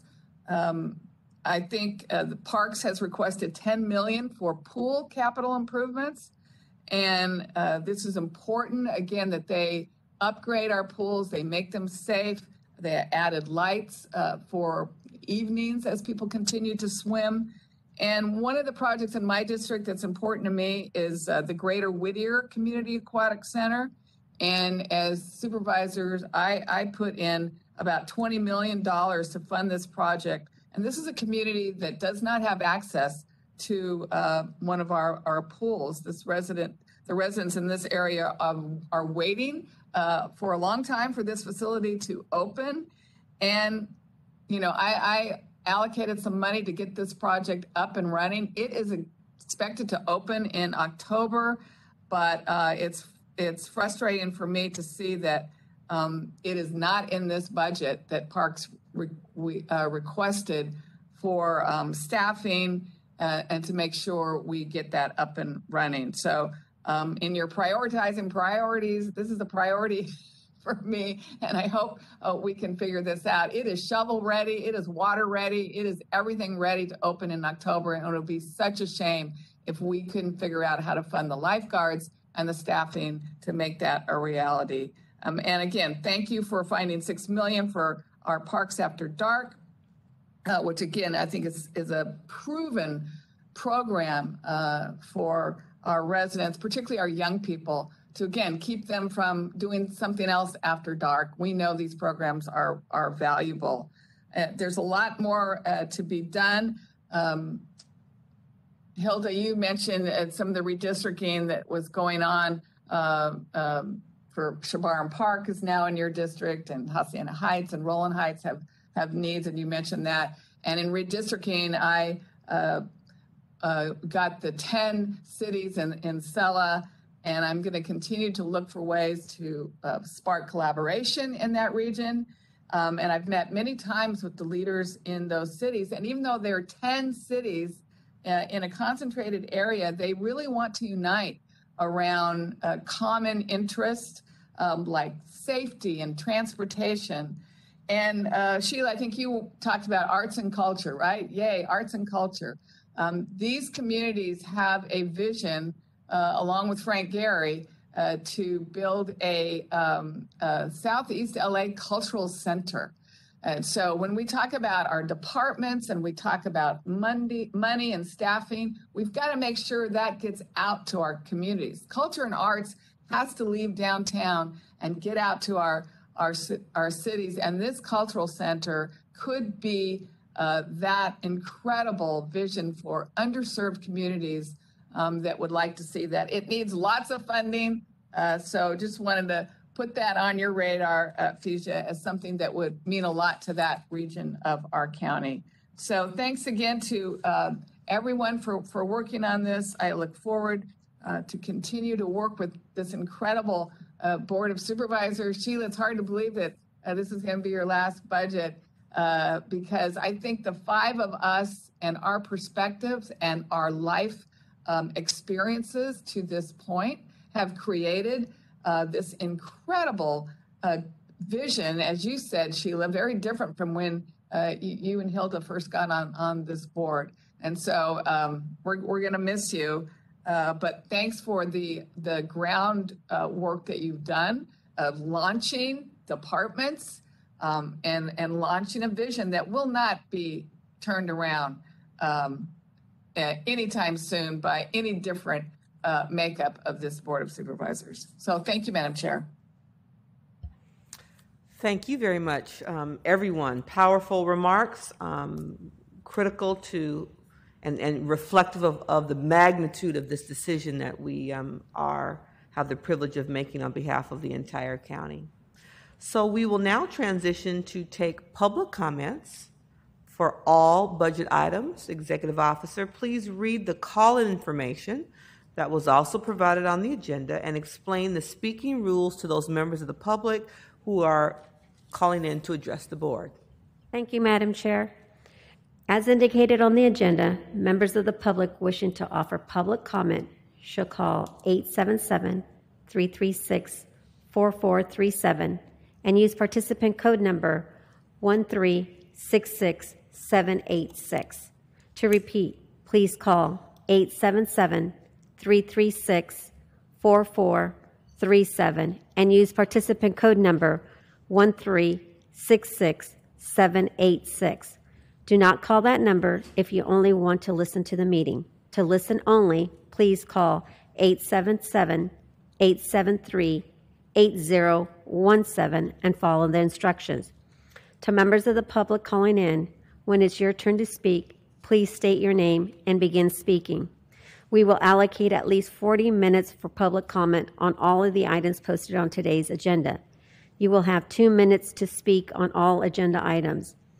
If additional speakers are in the queue at the end of the 40 minutes, then the chair may extend the public comment period to provide them with an opportunity to make their public comment. We will continue to accept all written comments that come in during the meeting, which will become part of the record. When speaking on an agenda item, you must be on topic. Our goal is to get through as many speakers as we can. If you're not speaking on topic, or if we cannot tell if you're speaking on an agenda item, you will get one warning from County Counsel or the chair. If you do not immediately or clearly get on topic, or if you stray off topic again, you will lose, you will forfeit and, and the rest of your time, and the chair will move to the next speaker. Please note that if you're also listening to the board meeting on a computer or speakerphone, you will need to turn down the volume on those devices as soon as the moderator calls on you. If you do not turn down the volume, there will be an echo. Moderator, may we have the first speaker, please? As a reminder, to address the board, if you have not already done so, please press 1 and then 0 at this time. Do not press 1 and 0 a second time, or you will be removed from the queue. We will now hear the Spanish interpretation of the reminder. Como recordatorio, Para dirigirse a las supervisoras, si aún no lo ha hecho, presione 1 y luego el 0 en este momento.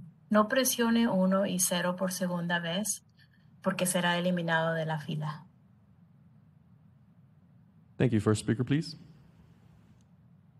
Our first participant is Paul Falk. You may begin. Hey, thank you for calling me up first. Um, I'm actually struck by one simple reality that folks from the community have been on the call since like 8:30, waiting to speak, and it's been um, two and a half hours. So I don't know how 40 minutes captures everybody's valuable comment uh, to speak on the county's budget and how it's been spent. Um, so really frustrated at that. Um, but at the end of the day, um, looking back at young people, and I think back to my own reality of being caught up in the same situation um, that many young folks are being caught in today. That if I was in the same position I was in in the 90s as a 17 year old, I would have still been on my way to prison, would have still went to the halls, would have still ended up in the county jail, would have still ended up in prison and then the deportation machinery at the end of the day. Uh, would still have to struggle with all of that. And so all this talk about right sizing, when are we going to talk about right solutions? Um, when are we going to hire people that don't have degrees, that don't have credentials, that come from the ground? Um, people that are people that are about the business, people that know the struggles, that know the hurts and the pains, people that have been shot, um, people that are are stuck living in the communities where there are no resources, but uh, handcuffs waiting around the corner, same situation in the 90s and kind of back in the 90s. Um, so just want to speak up on that. Um, man, y'all got to stop ignoring the real solutions that community has been giving you to present over and over and over and continue to get gaslighted. These are real things and real struggles that we face as community and just really disappointing in all y'all. Really disappointing this board. As somebody that really loved LA County, I can't say I love LA County anymore. You know, I want to ask this board, when will it stop loading policing and carceral budgets? When will it really listen to people? When will it give us more than 40 minutes to speak? When will it give us all this time? Um, but you know, I'm, I'm, gonna wrap up so other folks can speak. But um, on a final note, I'm just curious when when the phone calls from the county jails will be free, so people that are locked up can talk to their children, to their family members. When our folks can stop paying a dollar um, in the county jails for a 10 cent pack of ramen. Uh, when are we gonna start putting profits um, behind and start thinking about people? Excuse me. Um, I mean, when? Your time has expired. When are we really gonna do that? Can we have the next speaker, please? Our next participant is Matthew Miller. Please, you may begin. Hi, my name is Matt Miller. I'm one of the doctors that works for the coroner's office. Um, I just, this is a general budget item. Our, uh, in the past two years, our caseload has gone up from about 9,500 cases to about 14,500 cases. And uh, with this increase, we've obviously had a significant increase in our paperwork and other work associated with the cases.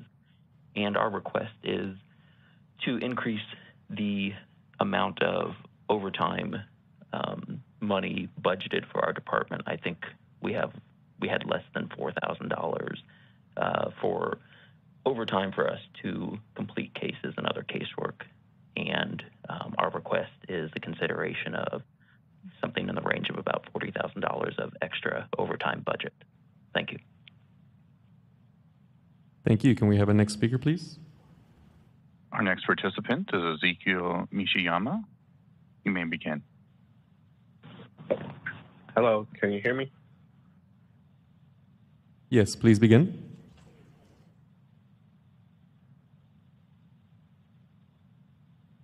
Hello, my name is Ezekiel Nishiyama. I live in District 4. I'm calling to urge the supervisors to fully fund the Department of Youth Development with 150 million in the Care First budget. To do to do this, we need to reduce the 4.5 billion going to the sheriff and probation departments. This includes cutting all 400 vacant positions in juvenile probation and redirecting that money to the Department of Youth Development. Those positions have sat vacant for years, and you are just wasting money. As the county is working towards Youth Justice Reimagined, it, it is important that we uplift that Department of Youth Development and ensure that the department has all of its resources behind it. As we work towards a Care First Jails Last Value County, we have to start by shifting our department structures. This means filling in the needs for our young people who are unfortunately stuck in these systems. Through the pandemic, many young people have brought up their needs as of mental health supports, education, credible messengers, the needs for mentors who play a critical role in a young person's life and development. These are the areas that the county should be fully invested fully invested in, and not the probation system and not the sheriffs. budget. As our young people continue to grow up in Los Angeles, it is important that we as a county put them first and fully fund the Department of Youth Development, invest in our young people that will grow up to be our the to be the leaders we need in the world today, and help lead our county into a better future. Thank you for the time today. Thank you. Next speaker, please. Our next participant is Zoe Rawson. You may begin. Good morning, Zoe Rawson with Arts for Healing and Justice Network and LA Youth Uprising. I respectfully disagree with board members. This is a budget that continues to prioritize law enforcement and continues to invest in a long arc of harm to Black and Brown youth, their families, and their communities through our probation system and other systems whose primary role, whose function in society is to isolate people, to punish people, to incarcerate people, to isolate them from the ones that they love. We cannot repair these harms without addressing the bloated budget of probation and the sheriff and fully funding the Department of Youth Development. The lives of living, breathing, fully human children are at stake. Children have been physically, emotionally, mentally, and spiritually harmed by a county that overwhelmingly funds police suppression and probation. This is a long arc of repair that we're in, and we are not nearly close enough. Children have been beaten in these institutions. There have been worms in their food. We have incarcerated 10 year olds. We have isolated children in solitary confinement for periods legally defined as abuse. We are still in the process of repairing this, but we are not going far enough. These lives are more important than politics. They are more important than property values. And the only way to protect them is to fully fund the Department of Youth Development and to reduce the budget and the reach of probation and police.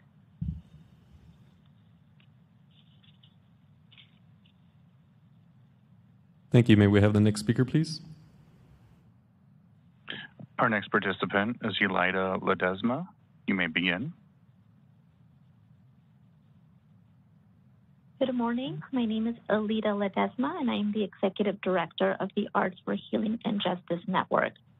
I want to echo my colleague Zoe's words. Um, I am calling in opposition of budget item number two and general public comment. Um, the new Department of Youth Development is scheduled to launch on July 1st, and in order to ensure its success, we need to fully fund DYD with at least $150 million. The Board of Supervisors promised 75 million for Youth Justice Reimagined, of which 55 million was supposed to go to community-based organizations. Disappointingly, probation's budget has not changed despite them having hundreds of vacant positions for the last three years and their halls being deemed unsuitable for youth. We know that the number of young people who are experiencing incarceration and on supervision has decreased significantly. We cannot continue to spend over 1 million to incarcerate one young person. Instead, we need to take this opportunity to invest in youth development and in community, demonstrating that our, youth, that our youth deserve better and that we believe in their potential. I urge the board to please reconsider the budget and allocate funding for the future vision that we want for this county instead of continuing to fund systems that don't work. Thank you for your time. Thank you. Next speaker, please. Our next participant is Bernadette Golami. You may begin.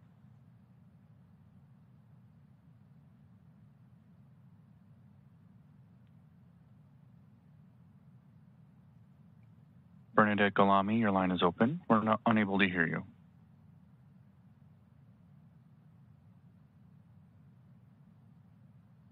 We have the next speaker, please.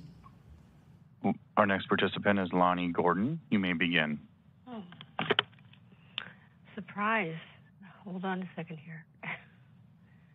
I'm speaking on uh, 4C and at 4C2 and number 4.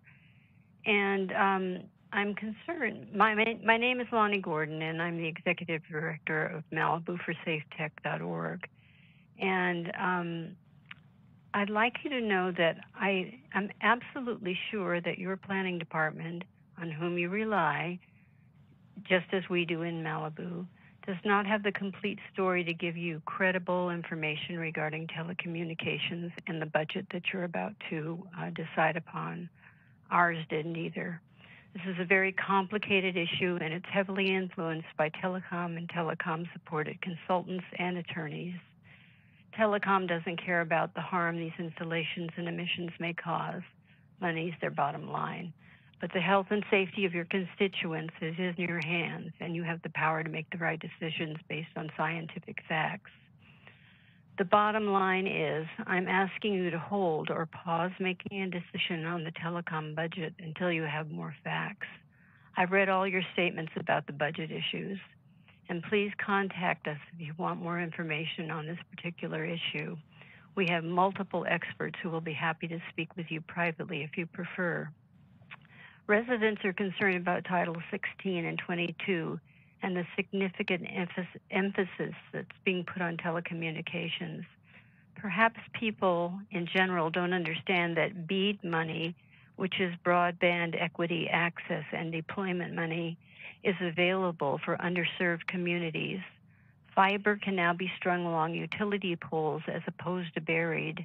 Also, micro trenching can be used. It's sometimes a faster process than putting up cell towers and certainly more aesthetically pleasing. Fiber is the future and it's safer and not a fire risk. Fiber is what we see cities and counties going to. The Biden administration has shown a preference for fiber to the premises. This is not to the exclusion of wireless, but there are multiple reasons for this decision. Our attorney, Excuse me? Scott McCollough, certainly. Your uh, time has We're done. expired. May we have the next speaker, please? Thank you very much. Thank you. I appreciate it. Our next participant is Kath Rogers. You may begin.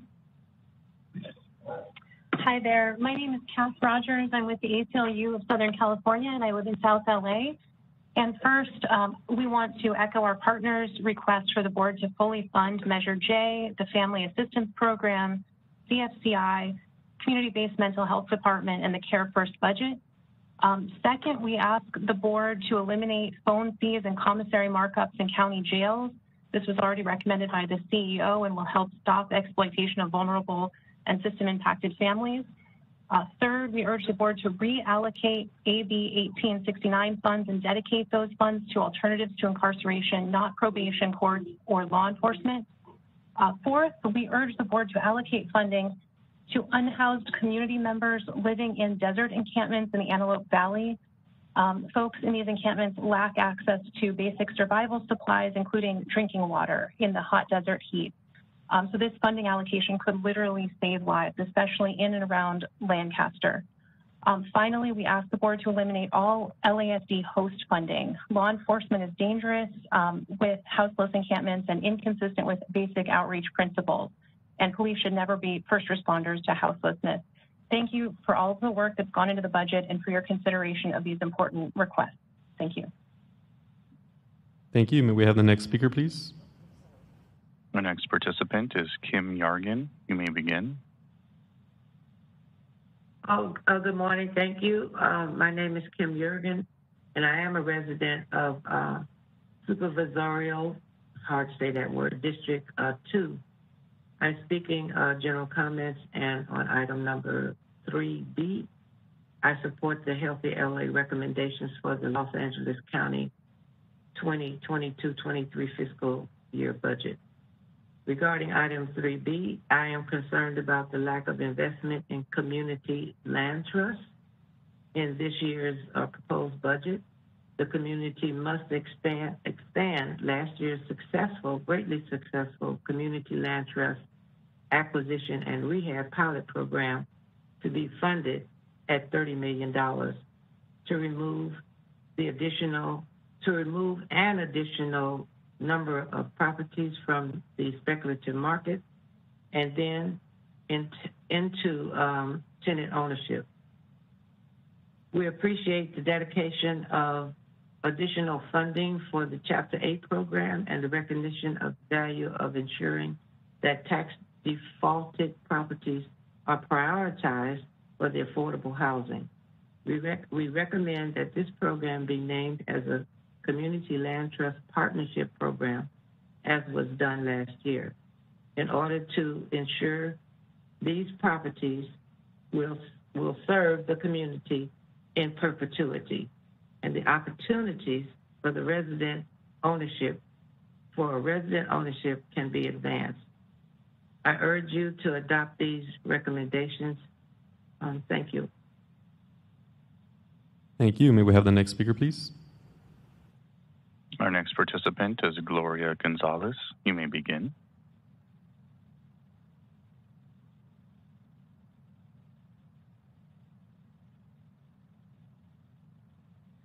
Gloria Gonzalez, your line is open. We're unable to hear you. Hi, good morning. Can you all hear me? Yes, please begin. Can you hear me? Uh, yes, we can. Okay. Please begin. Thank you. Oh, okay.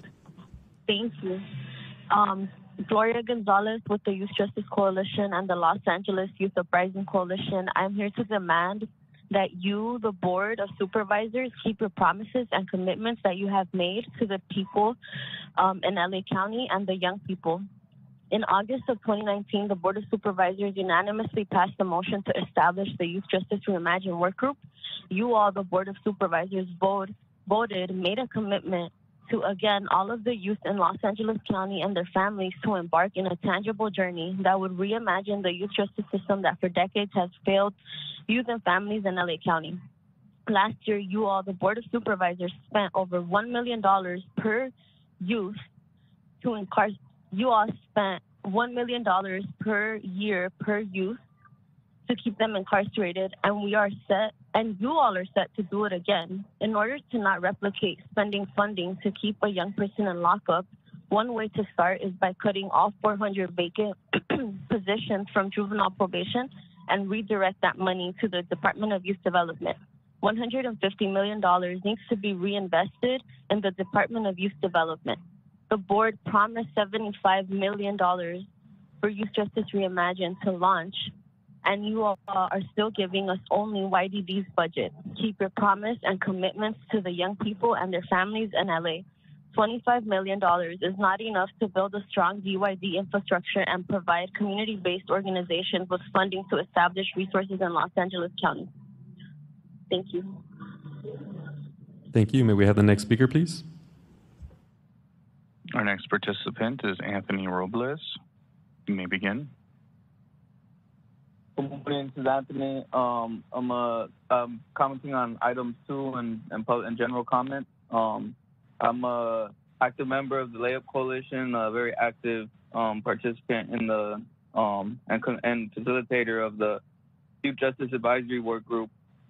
And um, I I feel like this this this public comment is basically a waste of time. And the fact that we have to keep saying the same talking points over and over and over, you all already understand this. Um, and we all know what the issues that are going on with, within juvenile probation and just within the county as a whole for young people. Um, it's sad that this this county, the city, and this county were, were established in 1850, immediately after the U.S. annexation of uh, the Southwest that used to be part of Mexico. Um, and since 1850, there has been no concerted effort or funding or investment in young people. And this year is probably the first time we're getting a Department of Youth Development. The only current investment we get in young people is that's as significant is in juvenile probation and DCFS. Anything else, um, I either can't think of it or I've never heard of it or it doesn't exist. Um, and those are the only investments LA County has made in young people since I've been alive. And uh, and it's it's it's a, it's a waste of time to even be here saying like we need to invest. We need 150 at least 150 million dollars into the Department of Youth Development this fiscal year um, to get it started off the right foot, so we can actually develop a county with successful young people that aren't trapped in poverty or um, being criminalized or things like that. Um, and you know, and it's sad. You know, we're, we're we're on stolen land. This country was developed on stolen land, stole everything, um, and has con- maintained its power um, through force. We have an illegitimate government from the feds on down. We've seen what the Supreme Court just took a bunch of rights to. Excuse me? Uh, for reproductive. Excuse me, from- your from time women. has expired. May we have the next speaker, please? Our next participant is Jose Osuna. You may begin. Can you hear me?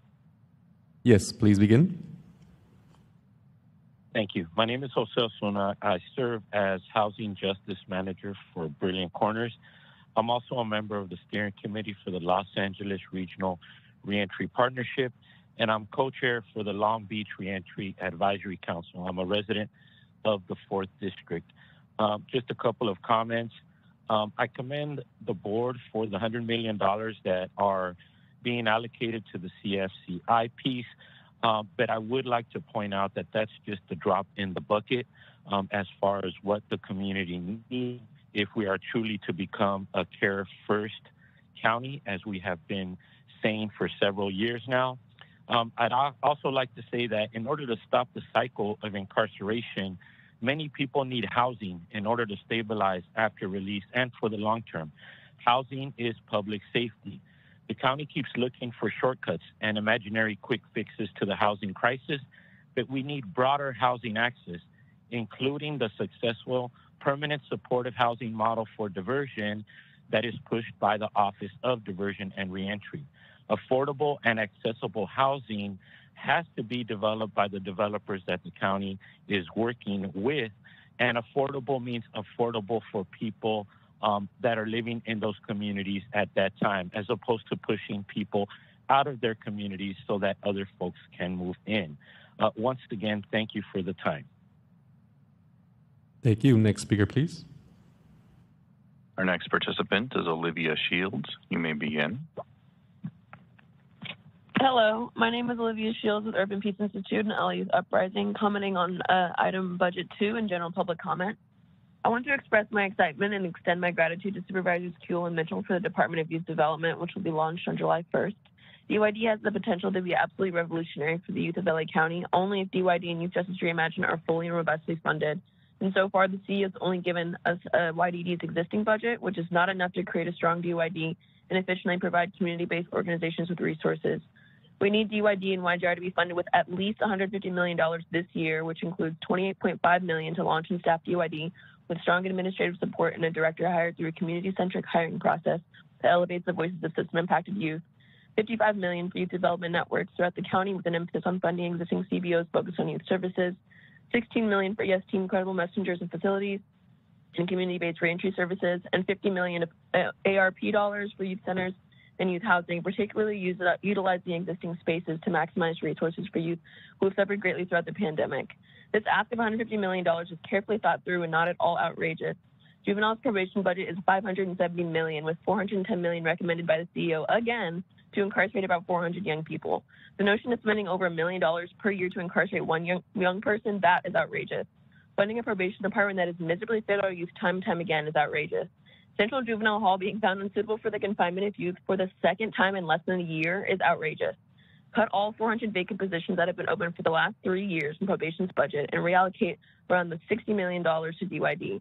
Fund the Care First budget, including 150 million for DYD and YJR this year, and 100 million annually to fund fully fund Care First community investment, 237 million for new mental health beds to close Men's Central Jail, and 110 million per year for independent pretrial services. This funding is long overdue, and the time to act is now. Thank you. Thank you. May we have the next speaker, please? Our next participant is Eric Henderson. You may begin. Hi, good morning. My name is Eric Henderson, and I'm with the ACLU of Southern California. Uh, first, I want to echo and uplift our partners' request for the board to fully fund the Department of Youth Development, Family Assistance Program, CFCI, Community-Based Mental Health Department, and the Care First budget. Second, I ask that the board um, eliminate the phones and phone fees and commissary markups in county jails. This was recommended by the CEO and it will help end the explo exploitation of vulnerable system impacted families. Third, we urge the board to reallocate AB 1869 funds and dedicate those funds to meaningful alternatives to incarceration, not probation, not the courts, or more law enforcement. Fourth, we urge the board to allocate funding to unhoused community members living in desert encampments in the Antelope Valley. People in these encampments lack access to basic survival supplies, including drinking water in the hot desert. This funding allocation could literally save lives. Finally, we ask that the board eliminate all LASD host funding. Deploying law enforcement is dangerous and inconsistent with these basic outreach principles. Police should never be first responders to houselessness. Thank you for your time. Thank you. May we have the next speaker, please? Our next participant is Yushra Hossein. You may begin. Hi, my name is Yushra Hussein, and I'm a legal intern at the Collective for Liberatory Lawyering, working with the LA Youth Uprising Coalition to empower youth and dismantle the school to prison pipeline. I urge you today to respond to youth needs by fully funding the Department of Youth Development at $150 million and fully funding the Care First budget. For years, the county has chosen to invest in youth incarceration while leaving a huge gap in care and resources for low income communities of color, making young people vulnerable to violence and perpetuating a cycle of incarceration. Fully funding DYD and Care First is a vital step to invest in youth potential as it will allow for the successful launch and implementation of a restorative model which has proven to help youth create transformation, enhance ability to understand peers, manage emotions, create greater empathy skills, resolve conflict, improve home environments, maintain positive relationships, as well as reduce suspension rates and improve academic outcomes. Fully funding DYD and Care First will ensure the successful implementation of a restorative model and will reflect the county's commitment to move away from harmful punitive systems. Rather than funding probation, a department that continues to create harm and proves time and time again incapable of providing young people with the basic safety and services, fully fund DYD so it can successfully launch this July and meet its goals of transformation and healing. Thank, thank you. May we have the next speaker, please? Our next participant is Aisha Abdallah. You may begin.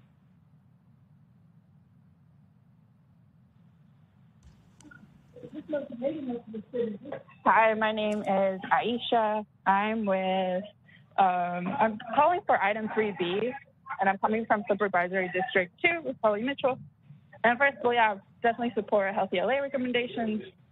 Um, but for specifically for 3B, I'm definitely would like to highlight the concern um, that I and many committee members have about the lack of investment for the community land trust um, in the year's proposed budget. And really, we're asking for the county to expand last year's acquisition and rehab pilot program with community land trust. Um, right now, it's set for 9.15 million, divided about a half a dozen affordable housing uh, organizations, and that's just not enough. And we're asking if it could be up to 30 million um, to really cover um, an additional 80 homes from and saving them from the speculative market and, you know, talk about preventative measures for um, homelessness prevention of keeping folks in their homes and housed. Um, of course, again, we're asking for the expansion of the existing program, and we certainly appreciate the dedication of additional funding for the Chapter 8 program. Um, and with that, ensuring that tax defaulted properties are the ones that are prioritized for affordable housing.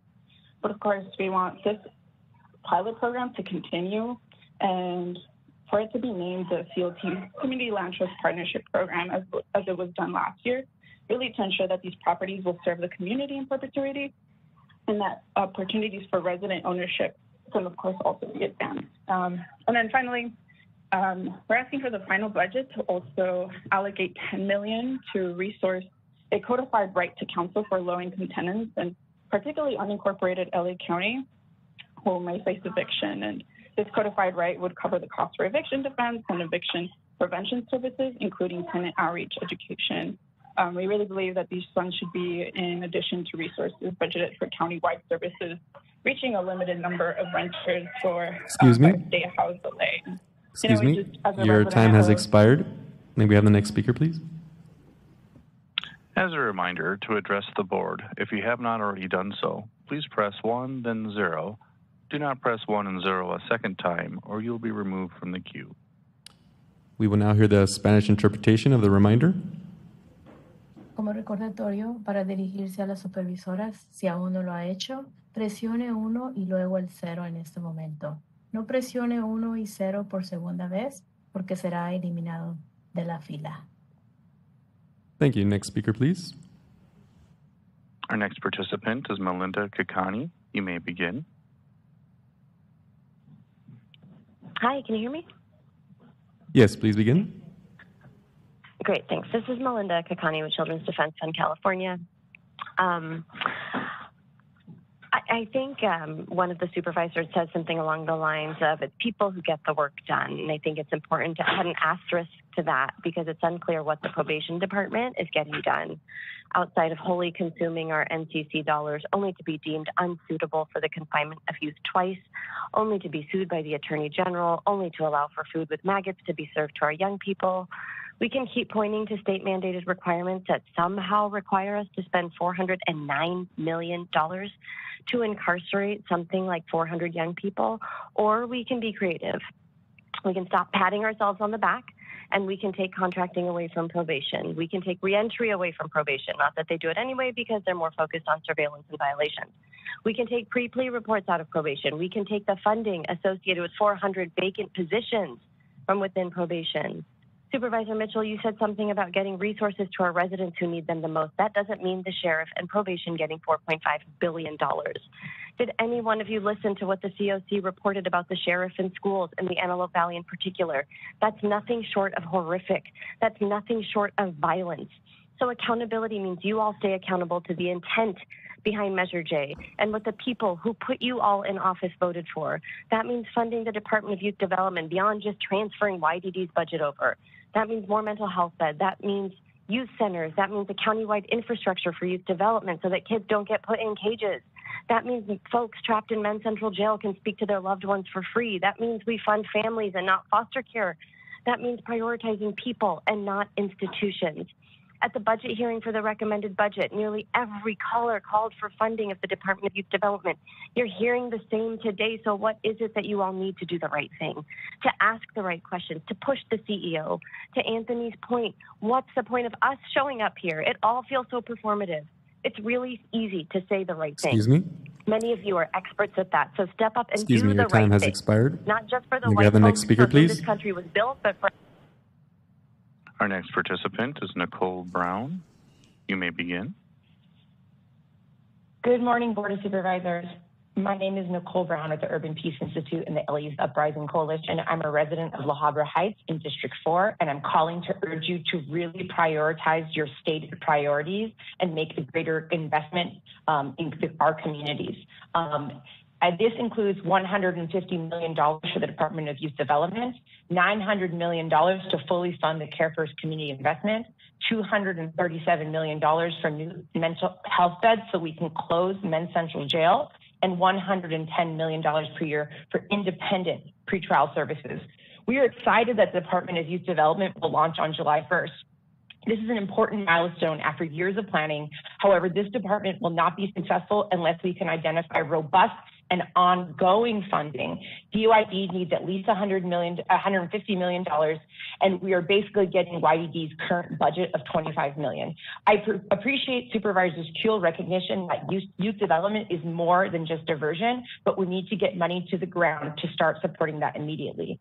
The development fund that we have um, is not ongoing funding, and as the CEO stated, many of the things that we value most are in a structural deficit. The one important and easy way to allocate ongoing funding to DYD is by cutting all 412 vacant positions that have sat vacant for years in juvenile probation and represent something like $60 million. We need to get that money to DYD immediately and make sure that it gets youth development services on the ground.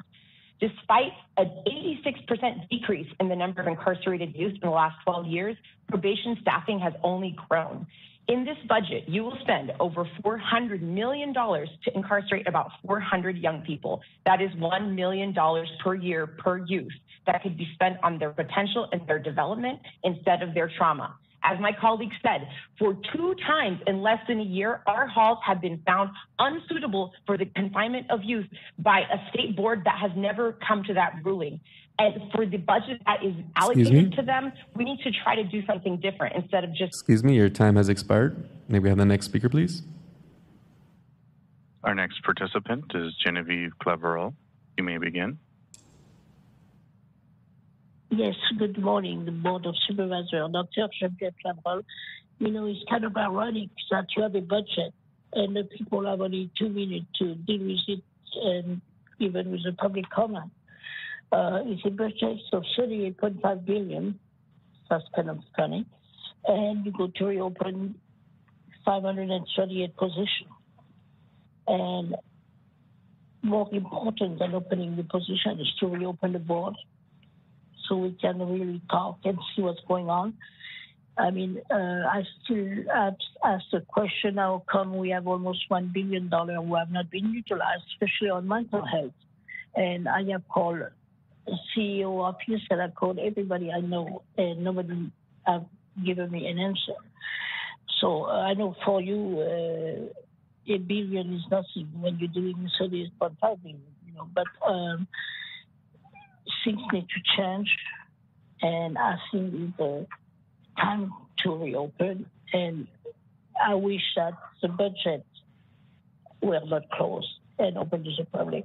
So please make it happen. Have a nice week. Talk to you later. Thank you. May we have the next speaker, please? Our next participant is Cheryl Manuel. You may begin. I'm here. Good morning, everyone. Um, as I say, mostly I'm not going to belabor the point. I want to start by giving the Board of Supervisors a feather in their cap. They have to cast a very, very wide net and do a lot with a little. There's only 24 hours in one day.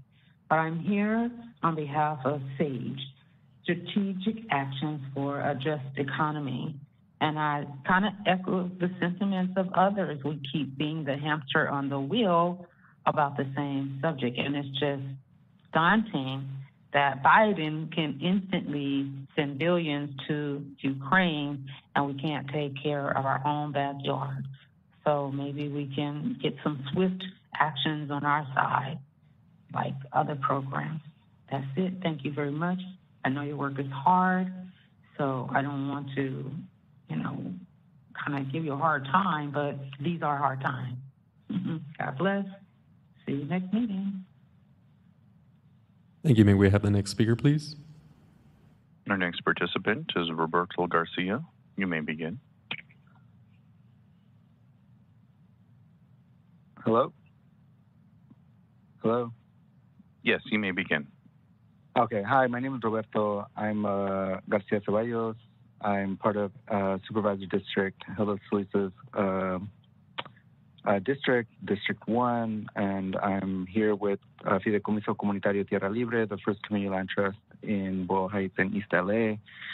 And I'm calling to comment on uh, item three and in support of the recommendations for the LA County 2002 2023 fiscal year budget.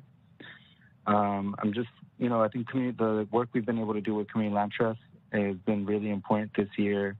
We've been able to preserve um, 43 households, uh, eight buildings, and we really want to be able to continue this work this year. And that's why we recommend that you fund $30 million uh, for us to remove an additional 80 homes from the speculative market um, and continue to fund the Chapter 8 program that uh, is really important now that we're seeing the financial crisis impact, inflation impact homes, we feel that tax foreclosure is really going to impact our neighborhoods, and we really need to preserve um, these homes. And then finally, uh, we would really love, I would really love to see, and our organization and our neighborhood would like to see that $10 million be uh, resourced for codified right to counsel for low income tenants in the unincorporated uh, LA County regions uh, you know, we not we don't only stabilize and preserve buildings, but we we want to make sure that we can work with tenants and that they have the right protections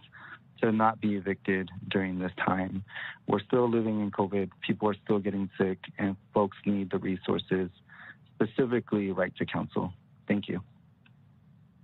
Thank you. May we have the next speaker, please? Our next participant is Sylvia Marroquin. You may begin. Um, thank you. Uh, my name is Sylvia Marroquin. I'm with uh, Strategic Actions for Just Economy. Well, um, I see a huge opportunity to make history here.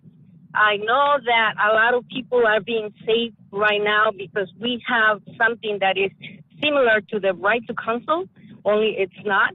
This is only a program, the Stay Housed LA. Um, so giving $10 million is very little, but here's an opportunity for everyone in the um, in the supervisor's uh, seat to make it uh, to make history and start talking about the right to counsel. We know that this is saving lives in other states, in other cities, and they have approved it. This is LA. LA is usually the vanguard of good changes. So please listen to this great opportunity that you have upon you and before you and make it right. Give the $10 million, which is nothing, service that, you know, this great thing, saving lives. And uh, I like the, uh, what um, uh, Supervisor Q said, you know, it's raining, only it's not. People are also dying from this heat exhaustion. So um, we don't want any more uh, homeless people dying on the streets. And this is a great opportunity to stop the evictions. Um, so that, that's all I have to say. Thank you. Good day. Thank you. May we have the next speaker, please? Our next participant is Benny Benitez. You may begin. Hello, my name is Benny Benitez with the Youth Justice Coalition. I'll be speaking on item two and general public comment. We urge the Board of Supervisors to fully fund the Department of Youth Development with $150 million and to fully fund the Care First budget.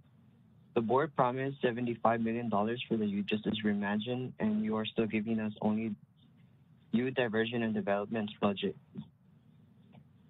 Don't make promises you cannot keep because we will continue to hold you account- accountable for that. $25 million is not enough to build a strong Department of Youth Development, to provide community based youth development services and community based organizations with resources. A starting point can be to reduce the 4.5 billion budget going to the sheriff and probation department, which have done nothing but physically, mentally, and emotionally harm our youth, families, and communities of color. We need to reduce juvenile probation's 570 million budget. This includes cutting all 40 vacant positions in juvenile probation and redirecting that money to the Department of Youth Development. Those positions have sat vacant for years. We don't need them, and you're just wasting money. What you need to do is invest in our youth and downsize probation now. Thank you. Thank you. May we have the next speaker, please? Our next participant is Francisco Romero. You may begin. Yes, good morning and thank you. My name is Francisco Romero. I'm calling on behalf of the Park Equity Alliance, member from Boyle Heights. Uh, we wanted to uplift that today we uploaded our comment letter that details our comments for today. We also sent this letter um, over to many of the board supervisors' offices on Friday. So wanted to make sure that that was being incorporated into the into the discussion today. But really, the four key points that we wanted to bring up were the institution, institutionalization of uh, parks after dark um, versus you know year to year kind of funding, institutionalizing it from here on out, restoring the Department of Parks and Recreation staffing levels to the recommended levels, which was uh, 1,702 positions.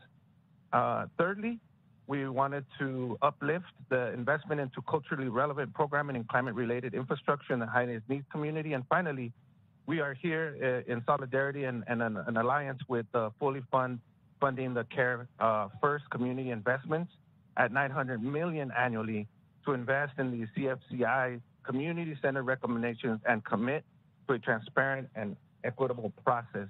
We look forward to continue to uh, working towards all these equity goals and alternatives to incarceration as well.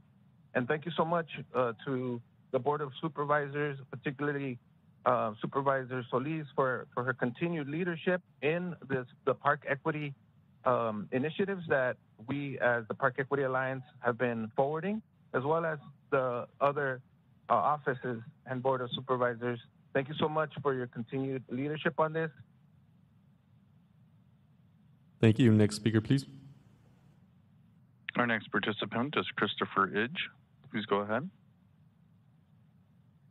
Good afternoon, Board of Supervisors. Christopher Idge from the Union of American Physicians and Dentists. We are here uh, today to ask for more funding for overtime so our doctors at the coroner's office can do their jobs in a timely manner. We'll be, we will be reaching out to your offices to address these issues. And um, there will, uh, and we hope that there'll be funding in the budget to address overtime issues, hiring of coroners, and retaining them. Thank you. Thank you. Next speaker, please. Our next participant is Bernadette Golami. You may begin. Hi, good morning, supervisors and community. I'm here to speak on my opposition on uh, item number two, the fiscal budget for 2022-2023, and general public comment. My name is Bernadette Medina Galami, and I'm with Public Counsel's Children's Rights Project and the Los Angeles Youth Uprising. I really just want to urge the board to fully fund the Care First budget, and this should include $150 million for the Department of Youth Development this year, 900 million um, annually to fully fund the Care First community investment, 237 million for new mental health beds to close Men's Central Jail, and 110 million per year for independent pretrial services. While we are very excited that the Department of Youth Development will launch on July 1st, it is vital that we get the full funding for the department, which is at least 150 million to realize Youth Justice Reimagined, including funding for community-based youth development services. Um, the board promised 75 million for Youth Justice Reimagined, and unfortunately, we've only been given the 25 million from YDD's budget, and that is not enough. Um, it's not enough to build a strong DYD or provide the community-based organizations with resources. Um, one way that may be able to help is reducing probation's budget, particularly juvenile probation's $570 million budget. Um, there are 350 to 450 vacant positions for the last three years in probation. They should be cut immediately, and the associated funding, which is about 60 million, should go to DYD. Similarly, we need to think about priorities, and as we think about priorities, we need to. It is hard to understand how the CEO recommended 410 million dollars to incarcerate 400 young people. This is not investing in our young people. As someone mentioned earlier, this is investing in the trauma and the pain and the hurt of our young people.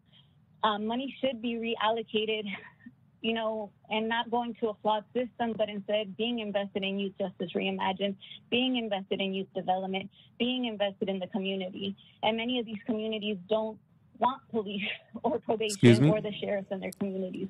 Excuse, excuse me, your time has expired. We have the next speaker, please. Our next participant is Christian Flagg. You may begin. Hello, can you hear me? Yes, please begin. Yeah, greetings. Uh, my name is Christian Flagg, Director of Training at Community Coalition, and also uh, lead support as a partner organization in the Brothers, Sons, Selves Coalition. And I'm calling in today to speak on item two to say uh, that the board needs to fully fund the Department of Youth Development with at least $150 million. I want to say that when you're working to transform an institution um, that has incarcerated young people for too long, it is important to aggressively allocate the necessary resources and dollars to actually operationalize what needs to happen. You've had uh, some amazing work being done in the Youth Justice Reimagined work group, and a lot of community members, young people coming out and telling you uh, exactly what the community has already been doing um, to address the issues and supporting our young people, but the dollars have to go there. So we're calling for money to uh, develop and build out the youth development networks, right? Really uh, giving the money to uh, fortify community-based organizations who are already doing the work, right? Launch and staff the actual department, right? And then lastly, um, funding the yes teams, right? The uh, credible messengers and the services to support with reentry. Um, again, I just want to reiterate, we cannot transform and create the necessary uh, infrastructure without putting the dollars there. All right, so fully fund the Department of Youth Development with $150 million and continue to grow those um, that investment and allocation if you're going to truly address uh, youth development across LA County. Thank you. Thank you. Next speaker, please. Our next participant is Lupe Villegas. You may begin.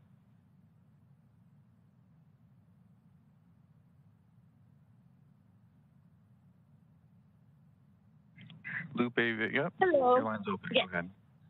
Hi, good morning. My name is Lupe Villegas. I am a member of SAJE nonprofit organization, organization that helps out tenants when they're being evicted and tenants knowing their rights. I am here and talking about matter 3B. We're asking for 10 million of permanent support. I am a single mom, 29 years old. I've been homeless for three years old. My kid's been removed from me for the department. Now I am being harassed, discriminated, neglected from my landlord, not trying to do the repairs. I have two kids. The sink stinks, and it's really bad for their health. He doesn't come as an urgent. He comes whenever he wants to. My kid's been sick with asthma. I've been sick with asthma right now with the COVID. Those are really bad symptoms to have. You could get COVID right away.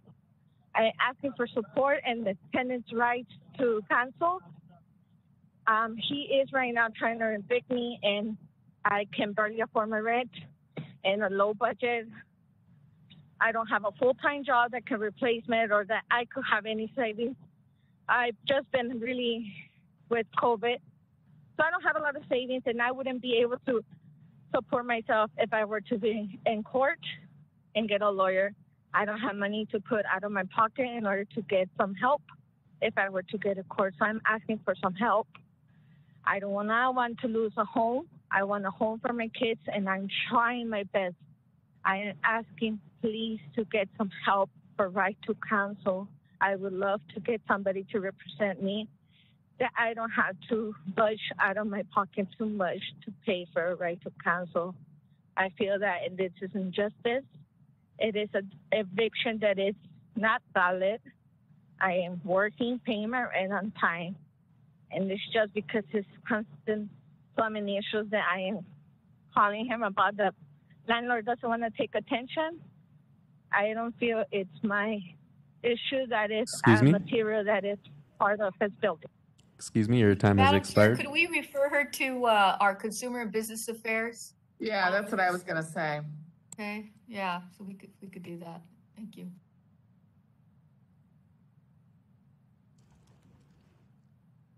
May we have the next speaker, please? Our next participant is Alexia Sina. You may begin. Hello, can you guys hear me? Yes, please begin. Okay, good afternoon. My name is Alexia Sina, and I am with the Anti Recidivism Coalition. I want to speak on agenda item number two and general public comment. I want to urge the board to fully fund the Department of Youth Development with $150 million and to fully fund the Care First budget. 25 million is not enough to build a strong department and, a, and provide it with resources compared to probation's 570 million dollar budget. Last year, we spent over 1 million per youth. Instead of investing into youth incarceration, I urge the board to invest in our youth's future. These youth deserve to be cared for and given the resources and tools they need for reentry inside and out. Credible messengers inside to mentor them and to show them examples of change, hope, and redemption, and resources like youth centers, housings, and CBOs when they reenter society. Thank you. Thank you. May we have the next speaker, please? Our next participant is Leah Zeidler Ordaz. You may begin. Good morning. This is Leah Zeidler Ordaz with UCLA Law's Criminal Justice Program. I'm calling on the board to follow through on its Care First promise and fully fund the Department of Youth Development. We're standing up DYD at the end of this week, and subsuming YDD's $25 million budget into the new department is not enough to fully realize the vision of youth justice reimagined. DYD needs at least 150 million this year to begin the process of building youth development networks and four SPAs, to launch and staff DYD, to pay for the Yes Team pilot, place credible messengers in facilities, and fund community-based reentry services, and fund new youth centers and housing. Compare that to spending over $1 million to incarcerate one youth in camps and Halls that has been declared unsuitable by the BSCC. The community is tired of hearing, sorry, we can't fund all these amazing YJR programs because we are overfunding the failing, crumbling mess that is the probation department. It's all about what the board is choosing to prioritize. As Supervisor Mitchell said, prioritize the priorities. DYD is the priority. Our youth are the future, and we need to ensure their health, safety, and well-being. Fund the new DYD. Thank you. Thank you. We have the next speaker, please? Our next participant is Miguel Cesar. You may begin. Hi, good morning. Um, my name is Miguel Casar, and I'm calling in um, as somebody who's very concerned by the, the, the, the values that this budget espouses. I think that from a moral perspective, this county's budget is an ethical disaster. It continues to uphold institutions that have been shown to trample upon the rights of people and those most marginalized. They've failed completely to address any of the violations that have been found by their own evaluations, let alone the decades of testimony that we have from those most impacted. And it also reflects a very twisted set of punitive logics that contradict what all of you have promised publicly to support. As a researcher and as from a logical perspective, this budget is only destined to worsen life and safety and justice for people in Los Angeles. It is impossible to think that we continue to make decisions based on flawed logics that only pander to political in- interests and that disregard the effort, the movement, the testimony, the research, um, and everything that makes sense. Um, I, I just don't understand why we continue to find ourselves in this situation, and I really urge this board to have some courage, to take leadership, um, to fund the Department of Youth Development, to confront these political organizations that are wreaking havoc and are organizing people to uphold their own legitimacy as they continue to to reenact violence and to perpetuate harm um, and to worsen the the injustices that those most impacted continue to face in our community. Thank you.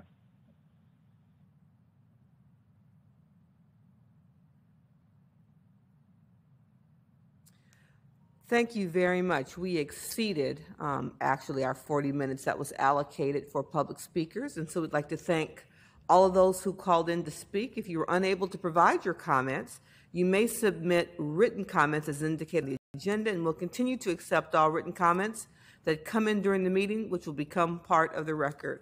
Again, thanks to all of the callers who took the time to read and understand the budget um, and called in to share their perspective. We're going to begin now, colleagues, with our um, deliberations. We'll hear from our Chief Executive Officer, Fesia Davenport, on item one. Once again, thank you, Madam Chair. Uh, as you mentioned, starting with agenda item number one, fiscal year 21-22 budget issues. This letter reflects our second mid-year appropriation and budget adjustment board letter, commonly known as the second mid-year BA. This letter recommends a variety of changes, which we also call adjustments, to the operating and or capital budgets referenced in the letter. These budgets were approved by your board on October 4th, 2021, when the board adopted the fiscal year 21-22 final adopted budget. By adopting the recommendations in this board letter, the board will authorize changes to the operating and capital budgets referenced in the letter so that the budgets align with transactions that have occurred since the time of their since the time of their adoption on October 4th. In adopting the budget letter, the board would also make necessary findings related to the California Environmental Quality Act. So item number one, the fiscal year 21-22 second mid-year budget adjustment recommendations are before you. Thank you. Any questions from supervisors? Okay, seeing none, item one is before us. Moved by Supervisor Kuhl, super, seconded by Supervisor Solis. Executive Officer, please call the roll. Item one is before you. Supervisor Solis. Aye. Supervisor Solis, aye. Supervisor Kuhl. Aye. Supervisor Kuhl, aye. Supervisor Hahn. Aye. Supervisor Hahn, aye. Supervisor Barger. Aye. Supervisor Barger, aye. Supervisor Mitchell. Aye. Supervisor Mitchell, aye. Motion carries five to zero. We'll now hear from the Chief Executive Officer on item number two. Thank you, Madam Chair. Agenda item number two, fiscal year 22-23 budget items. This agenda item is comprised of two items on the agenda, 2A and 2B. Item 2A is a report of issues raised at the public budget hearings, which were held on May 11, 2022. The report summarizes issues raised at the hearings by both oral and written testimony, including the individual supervisors and departmental requests for additional funding for various programs. This report is a receive and file. Item 2B is a board letter representing my recommendations for adjustments to the fiscal year 22-23 recommended budget, which your board adopted on April 19th, 2022. This agenda item is comprised of six recommendations that I'll uh, summarize briefly. The first recommendation seeks a finding that the proposed capital project actions referenced in the letter are not projects within the meaning of the California Environmental Quality Act based on the record of proposed activities. The second recommendation requests that the board adopt the proposed changes to the fiscal year 22-23 recommended county budget as set forth in the board letter and the attachments to the letter.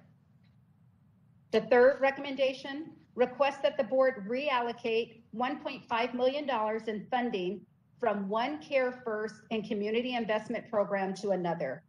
Specifically, the letter seeks to repurpose the use of this funding, which was approved by your board on August 22nd, 2022, from the fiscal and online resource hubs for youth to programming at existing youth centers as more specifically described in the letter.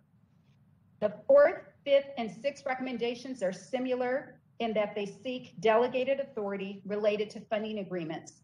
Specifically, the letter seeks authorization for me or my designee, for the Director of Economic Development or her designee, and for the Director of the Executive Office or her designee, respectively, to execute, amend if necessary, or terminate funding agreements in the amount stated and for the purposes specified for a variety of programs included in this budget letter. So item 2A consisting of the receive and file and item 2B consisting of six uh, recommendations related to the fiscal year 22-23 budget that I just summarized are before you. Thank you. Questions or remarks from co- my colleagues? Seeing none, we're going to take uh, one vote on items 2A and 2B together. So 2A and 2B are before us. Moved by Supervisor Mitchell, seconded by Supervisor Hahn. Executive Officer, will you call the roll, please? Item 2A and 2B are- are before you. Supervisor Solis. Aye. Supervisor Solis, aye. Supervisor Kuhl. Aye. Supervisor Kuhl, aye. Supervisor Hahn. Aye. Supervisor Hahn, aye. Supervisor Barger. Aye. Supervisor Barger, aye. Supervisor Mitchell. Aye. Supervisor Mitchell, aye. Motion carries five to zero. Thank you. Moving on to item three, which were items from previous meetings which were deferred to the budget deliberations. Ms. Davenport? Thank you, Madam Chair. Agenda item number three is comprised of three reports back deferred to budget deliberations. The three report topics are as follows. Item 3A is a report from our Director of Beaches and Harbors, uh, Mr. Gary Jones, and provides information regarding additional revenue from marina leasehold extensions. This is an annual report, and the additional revenue this year is $394,225. Item 3B is a report from my office regarding the Affordable Housing Budget Unit for fiscal year 22-23. The report confirms that my office has identified $100 million for affordable housing programming and provides the recommendations for the allocation of that funding as developed by the Affordable Housing Coordinating Committee. And item number 3C is a report back on meeting the sheriff's obligations under Senate Bill 1421. Senate Bill 1421 became effective on January 19, 2019, and made certain categories of peace officer personnel records available to the public under the California Public Records Act. On March 15, 2022, your board adopted an ordinance requiring both the sheriff and probation departments to proactively post those records subject to disclosure under SB 1421. The ordinance also requires the department to post within 30 days of a record's creation, records subject to another law, Assembly Bill 748, uh, which is a law governing audio and video recordings of a use of force resulting in death or great bodily injury, to post those records within 30 days of the record's creation. The report back recommends a multi-departmental staffing plan for County Counsel, the sheriff, and probation to meet the requirements of these new laws and obligations, with County Counsel playing a key role in moving this work forward. This concludes all the items for agenda item three. All reports are received and filed and are now before you. Thank you. Uh, Ms. Davenport, I, I do have one concern with regard to the affordable housing budget report. Um, while I um, absolutely support the funding allocation to preservation strategies, I know that all of us have uh, NOFA developments in process, in construction, about to begin throughout the county and all of our districts. And I know that a number of them are experiencing challenges as a result of increased costs um, in um, financing, particularly with the new increase in interest rates. So I think it would be really helpful um, if you could provide the board with recommendations on a funding gap fund for NOFA projects to really make sure that these developments that have already been approved, that are in progress, um, actually get completed with these new developments with regard to rising interest rates.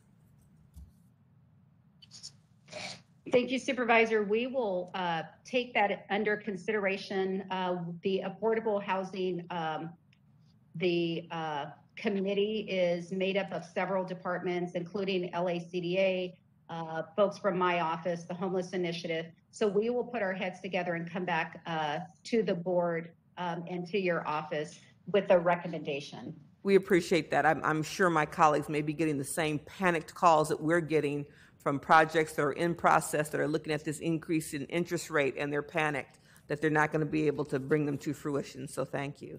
Any other comments or remarks from um, board members? Seeing none, items 3A through 3C are before us. Moved by Supervisor Barger, seconded by Supervisor Solis. Executive Officer, please call the roll. Item 3A, 3B, and 3C are before you. Supervisor Solis. Aye. Supervisor Solis, aye. Supervisor Kuhl. Aye. Supervisor Kuhl, aye. Supervisor Hahn. Aye. Supervisor Hahn, aye. Supervisor Barger. Aye. Supervisor Barger, aye. Supervisor Mitchell. Aye. Supervisor Mitchell, aye. Motion carries five to zero. Item four, budget items. Ms. Davenport. Thank you, Madam Chair. Agenda item number four is comprised of three recommendations in items 4A, 4B, and 4C. Item 4A is a recommendation, uh, it's a twofold recommendation, actually. Uh, the first is to modify the appropriations limit resolution for fiscal year 21-22. And then the second is to approve the appropriations limit and the appropriations subject to limit for fiscal year 22-23. Each year, my office calculates the county's appropriations limit, and the board adopts a resolution to approve that limit. That limit must be reviewed as part of an annual financial audit. In preparation for our annual review with our external auditors, my office found an exception in which the adopted fiscal year 21-22 appropriations limit resolution included an error. So my office has recalculated the limit for fiscal year 21-22 and now ask the board to adopt the corrected and modified limit as specified in the letter. We also seek approval of the appropriations limit for fiscal year 22-23 as set forth in the board letter.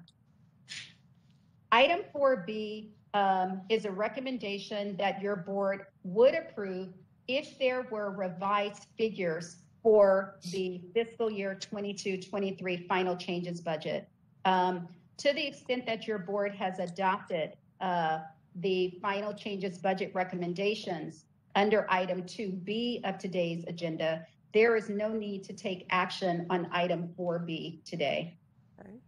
Lastly, item 4C is a recommendation that your board approve nine miscellaneous items consisting of a series of delegated authority requests or instructions to departments that we seek each year to operationalize the budget. More specifically, items one through four and nine seek authority to enter into and or approve agreements on the terms set forth in the board letter.